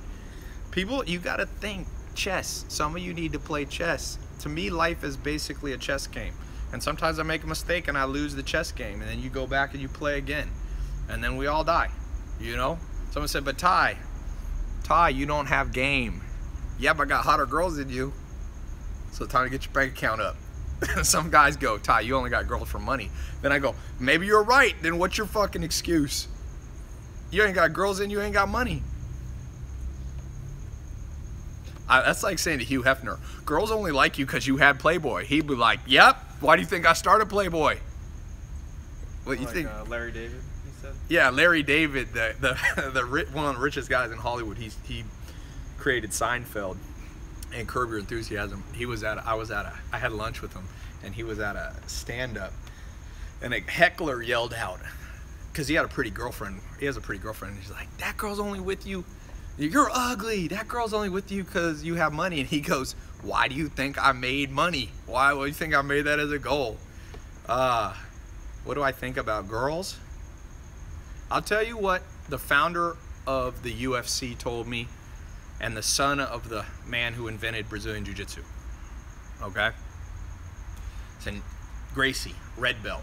He said, Tai, as a man, as you become successful, you'll have two main causes of trouble eating too much food, all right, getting fat, getting out of shape. Number one. No, Dana White did not start the UFC. He bought it from the Gracies. Number two, women. So, women are, you know, if you're a woman or whatever, you know, I'm sure it's the same with men. But it, it's more, it's what I told you here. 50% of men that you date, or 50% of women that you're gonna date, suck. The other 25% would be good boyfriend, girlfriend, wife, or husband, but they're lazy. They're ah, they care more about themselves. They're too narcissistic. So you got to become the master of filtration. That's why the stuff like Tinder is kind of a crappy thing because it always. Wh- who do you think's attracted to Tinder? These people. You think awesome ass girls? First of all, if a girl's badass, no guy wants to leave her. So she's not gonna be available that much. Good girls aren't available. You see a girl that's been here's a warning sign. A girl has been single for a long time. You got to be like, what's wrong with you that nobody wants you? Same with guys. So you don't have to be married, but if nobody ever wants you, you got to look in the mirror and be like, damn, I still got I got something wrong with me. And again, no one will level with people in the world and just say this because people are so politically correct that people get butt hurt when I say that, but that's irrefutable. It's called a priori logic. It's impossible to argue. And believe it or not, I know a thing or two about science, and that's exactly backed up in science. Online Tinder has a higher proportion of what psychologists call avoidant people. Avoidant is a psychological problem. Clinically, there's a great book on it called Attached by Heller and Levine, two famous scientists. Online dating sites have a lot of avoidance. Avoidance are people who avoid, the closer you try to get to them, they have attachment issues. You know? So, um, Tinder attracts. So, if you're just looking for a hookup, Tinder's badass. But here's my problem with it. Um, you ever heard of the saying, you should have your cake and eat it too? What happens if you meet a badass girl, but you're just looking for, you know, like a fling, but she turns out to be so good that you want to be in a long term relationship? Well, then you don't want to find them from the wrong place because you automatically, you're only getting your cake, you're not being able to eat it too. You need both. So I recommend people, not that I'm an absolute expert on this, but I know a thing or two about dating pretty women. I can tell you that. I don't know anything about dating men. Can't help you, ladies, uh, or gay guys. But um, the best women are the ones that even if you ain't looking for a long-term relationship, there's the potential there. So if you hanging out with piece of crap low-level girls, and there's a lot of low-level girls and a lot of low-level guys, you're automatically cutting off half of the long of the potential right there because there's no long term. So I've done. I mean, I've been before when I didn't want a long-term relationship, and then I met a girl, and I was like, "Damn, this one's a keeper." That happened to me once um, years ago. I was, uh, I wasn't really dating anyone, but I was dating this one girl named Jen, and my friend Mike came in town, my business partner, and he's like, "Dude, let's go out. I'm I'm here for two days. Like, let's go on a double date. Get me a girl." So I called up this Jen girl who I didn't, I wasn't that attracted to. I'd gone on like two dates before, but she wasn't it was she's not really my type. Cool person though. So I, I called her up and I was like, hey Jen, you got a friend? Um, the, this is when LeBron played for Cleveland the first time. Cle- the Cavs were playing the Clippers, and I said, I got tickets. Do you have a friend? And Jen goes, Yeah, my next door neighbor will come. And so um, it was when I had a Maserati. I'll never forget. I drove downtown. It was right by the Staples Center. They lived. It was like on Olive or one of the. I forget what the name of the street is. It was like one street over from the Staples Center. So I pull up, I call, we're here, and Jen's like, okay, I'm I'm coming down, and her friend's name was Kim. And dude, the door opened up. I'll never forget. It's only happened to me one time in my life. And that door opened up, and Jen walked out, who I already knew, and Kim walked out. And to this day is one of the most gorgeous women I have ever seen. And I was like, oh no, I made a mistake. Because I was out with Jen and my friend was with Kim. And Kim got in the back of the car and Mike was in the back of the car, so I'm here with Jen. And nothing wrong with Jen. She's pretty and all that, but she's not my type. Kim was my type, like built, like just. And I was, dude, it's the only time in my life I had to sit in a box seat, us four. And my friend was Mike was stoked. He's like, Tai, you are the best friend ever. You gotta hook me up with a fucking super. I mean, this this girl was the baddest of the bad, and I've been around some of the baddest. And so I sat there through this whole night, just being like pissed. I'm with this girl I don't like. I'm like, motherfucker. The only time in my life I went, actually did what they do in the movies. I went in the bathroom at a Staples Center and I punched the paper towel thing and hurt my hand and broke the thing. You know how they do that shit in movies and I always see it and I'm like, who does that? I did it. Anyway, I texted my friend my uh, afterwards. Mike was staying at a hotel and I had to go to San Diego's for Thanksgiving. I remember this. I go down to Thanksgiving and I texted Mike. I said, listen, Mike, this chick is so badass. You are not allowed to have a fling with this chick. I'm like, you cannot have a fling with this girl. So I basically, um, he was, you know, he was a good friend. He goes, you know what, Tai? All right, you can date her. So I texted her and I was like, this is, this is the weirdest text I ever sent. But you know, sometimes honesty, radical honesty with women work. I said to her, I texted her. It was under the table at Thanksgiving. My 90, my grandma back there was like 95 or something, and I'm texting under the table. She's mad that I have my phone, and I text. I had gotten Kim's number, and I was like, Kim, um, do you believe in love at first sight? And she's like, Yeah. She was a Leo, so Leos always believe in love. She goes, Yeah, I really do. And I was like, because I am sure I am in love with you. And and we had we dated for like two years. It ended up being a little complicated at the end for other reasons, but you know what? Have both potential sides. If I had met that chick on Tinder, then I would always be in the back of my mind like, ah, this is that Tinder kind of girl. Somebody said he sold Kim. I did not sell Kim. She's actually married and has a kid now. I saw, I see on Facebook. Um, but uh, yeah, if I if I had met her in the wrong location, like if you dudes, I know dudes that go to strip clubs to meet girls. Don't do that. Strippers are fucking bat crazy. That's the dumbest. I see guys selling courses on how to get strippers. Yeah, have money. That's the best way to get, or be a freaking psychopath with your and tattoo your face. Okay, then you get to it. That's the two types of women, uh, men that most strippers like. Bat crazy dudes, ex-convicts. So if you want to go to prison for a few years, so you can come out and date a stripper, be my guest. Or number two, you can have them use you for your money. It sounds like the world's worst plan. It can. It sounds like how can you get leprosy? I'm gonna sell a course. How to get leprosy in 90 days. Um, no offense if anybody is a stripper, but you know, any of you strippers watching, uh, would you want to date your coworkers? Would you want to marry one of your fucking coworkers? Shit, come on now. Let's let's be real here. Somebody said, "Did Kim fall into the water inside by the front door with the?" No, it with Kim, it was more. It was no big falling out. We just kind of drifted apart after we broke up, and then we got back together. I've learned whenever you break up, get back together, you, you probably should have just stayed broken up. So, um, yeah. Somebody said, "Law, you sound like you have experience." Ty likes BBWs. uh, hey, uh, I'm not gonna comment on that, but Kate, they calling you a BBW. Do you know what a BBW is? Big. Big. no, I know what I want. I know what I like. Come here. I have something. Um, I'm not big. no, I. She is. Wait, come stand in here.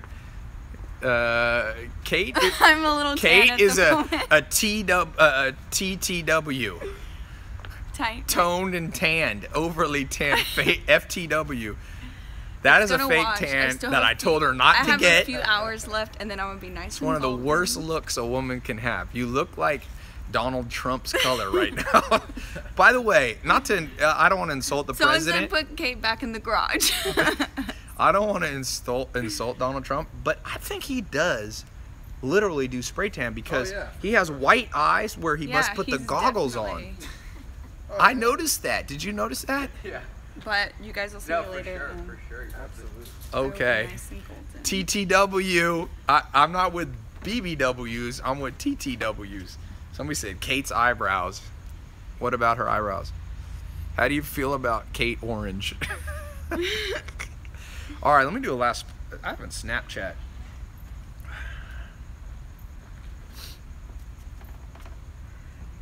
Uh, who's following me on Snap?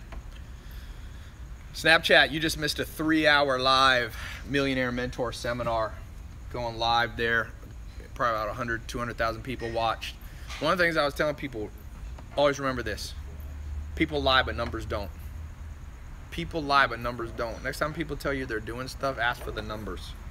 On anything, on anything, business or otherwise. People will lie to you, they lie to themselves. I rarely believe people. I like what Ronald Reagan said trust but verify. Okay. The last person.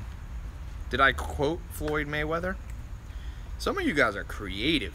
I love these comments. Sometimes I'm just like, that's the best thing about Twitter. Some of the comments. Chase a check. Never chase a bitch. This dude's rapping. Isn't that future? Yeah. Chase a check. Never Yeah, chase yeah, a yeah. bitch. Mask off. Yeah, mask off. Favorite song. Come on, man. Um, all right, who's gonna get this hundred bucks on Twitter? Dun, dun, dun. You guys see James Harden chilling at the house? That's a pretty badass video. He just signed a two hundred thirty million dollar contract. This is funny if you haven't heard it. Look who stopped by. Pull up. I had to pull up. Heard, heard the vibe at the crib, you hear me? he goes, I hear there's a vibe at the crib, Tai. My man. Jay Harden got a serious beard, man.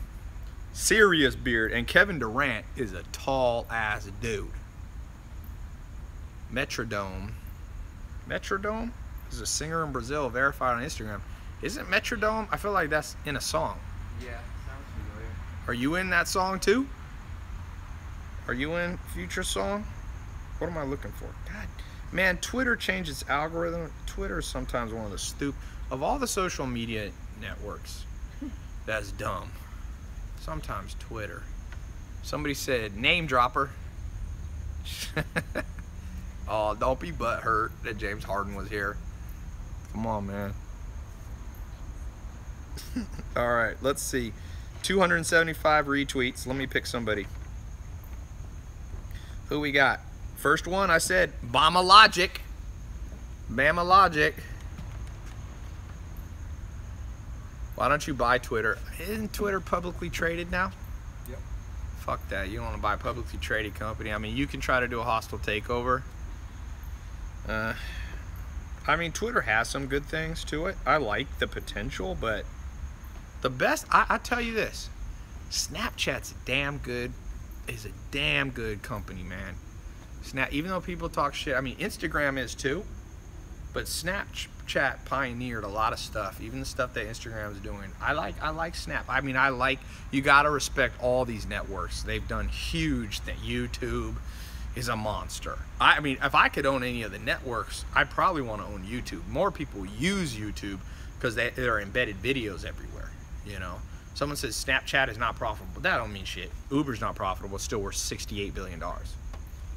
Tai, why do you think people talk shit about you about being fake and a scam? You know, most of the scam stuff that's online on the internet, if you look on the date, it was back when I started, like in 2015. So what happened is when I first come on the scene, and you'll learn this is this I've seen this multiple times in my life. When you pop on the scene and you're new on the scene, people talk shit because you're an unknown. So I'll give you an example. LaVar Ball, right? The Ball Boy, the Ball Brothers. They're new on the scene, so people talking shit about them, but eventually it dies down. LeBron James, people used to talk a lot of crap about LeBron James, but eventually he rises up, and, and now there's not so much. So a lot of that scam stuff is like when I first come out, and people are like, oh, he just rented a Lamborghini for a day. But Snapchat changed a lot of that because Snapchat tells the truth. Remember, I tell you people lie, but numbers don't. With Snapchat, people have been watching my Snapchat. I mean, I get a lot of people watching my Snapchat. Okay, so my Snapchat's been viewed tens of millions of times, like whatever. I don't even know. I mean, one of my snaps got viral on the on the Snap story just at the a few months ago, and got eight million views in a day. Three of my snaps got like 3 million, 3 million, 2 million, something like that. I posted a screenshot for all of you cynical biatches out there. Um, I posted it back in. It was out when I was at the NBA final game. So Snap tells the truth because you can't lie on Snapchat. Instagram, people can do one thing, take 20 pictures and post them over a year. But with Snapchat, puts the white um, around it, so it shows you if it's a past upload. So now people know that I don't.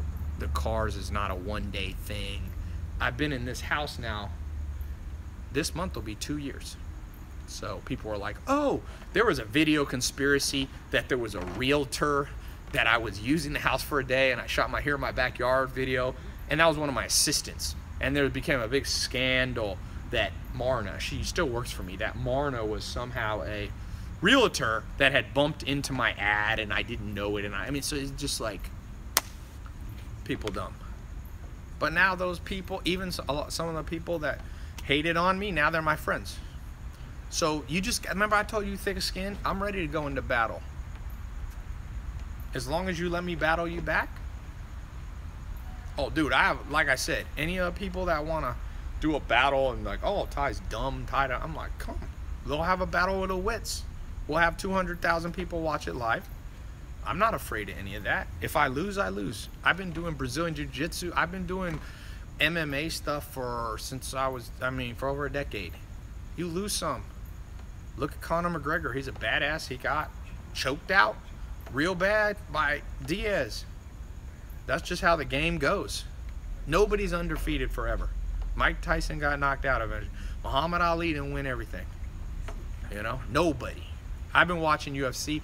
My my first MMA teacher was in UFC one. Everybody lose. Rickson Gracie is the only guy they say didn't lose. My Brazilian Jiu-Jitsu teacher, he was um, 365 and 0. Rigan Machado. He's a coral belt in Jiu-Jitsu. He's one of the top guys in history. The youngest black belt in U.S. history. He got it at 18. And he's lost. He lost to Rickson Gracie.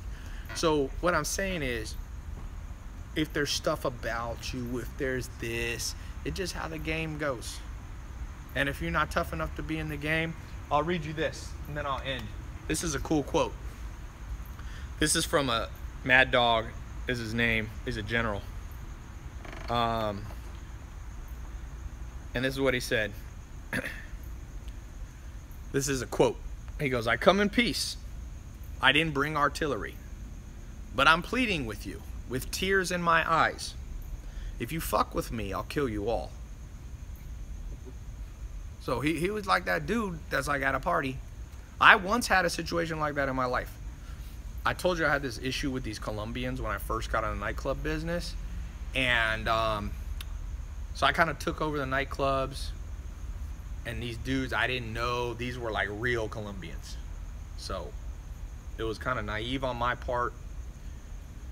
And so I took one of the clubs they used to run. The owner gave it to me instead of them. They were selling a lot of cocaine, a lot of shit. So I not only took their nightclub, but I took their spot to sell shit. And I was at this other nightclub one night and I went to the bathroom myself. It was called The Office in Raleigh. That was the name of the nightclub. And like 10 Colombians, I was in the bathroom. I turned around, like 10 of the dudes came and pinned me to the corner they didn't touch me, but they were like all up on me, like intimidating me. And I said, I told them, I said, okay, you guys got me on this one. I was like, but if you fucking touch me, I will hunt you each down one by one if you don't kill me right now. And they fucking left me alone. I did. I didn't do anything illegal, but I scared the shit out of them. You see all these big guys that are with me now? That's when the first time I started getting big guys like that. I talked to my dad. My dad been from Harlem I call, I talked to my dad. I'm like, what would my dad do? My dad's a prison guy. I didn't grow up with him. My dad, my brother, who grew up with my dad, he said, Tai, our dad always rolled with big ass motherfuckers. And I'm like, why? He's like, my my dad used to have this big Russian guy that was always with him, huge, like Rome, but a white guy, like the mountain. And my my friend, my uh, brother goes, we call them keepers of the peace because people settle the fuck down when you got enough big guys so, yeah, I'm not gonna go into the whole Colombian thing, but uh, what Mad Dog said, he was like, what this general said is like, you know what? I come in peace. I ain't gonna attack you, and I'm genuinely pleading with you with tears in my eyes, you know. But if you fuck with me, I'll kill you all.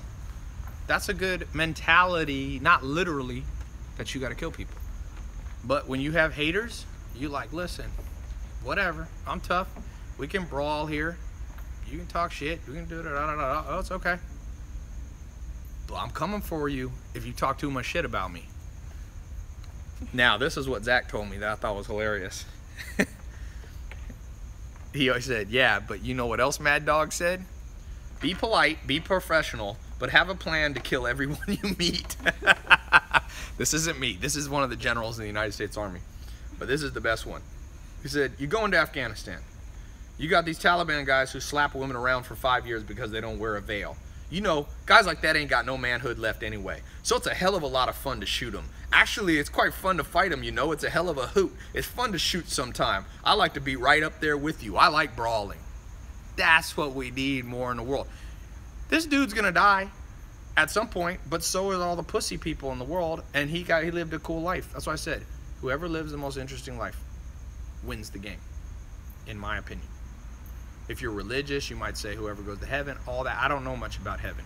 I can't speak to that. But I'm telling you, on this planet, whoever lives the most interesting life, and a part of an interesting life is you will have a tax on you. It'll come from different sources. It might be the IRS. It might be a false accusation from a girl or a guy. It, I mean, just look at the other day. I saw a false accusation. That Texas case where this girl accused, I think, a whole football team of raping her, and then she was like, "Oop, I was just joking." And these dudes, you know, it's like, wow, that shit happens. You, you little kids get kidnapped and killed by crazy people. Those parents got to live the rest of their life knowing. I mean, the world will throw. This is what Charlie Munger says. The world's going to throw incredible blows at you. Some of you will fall apart.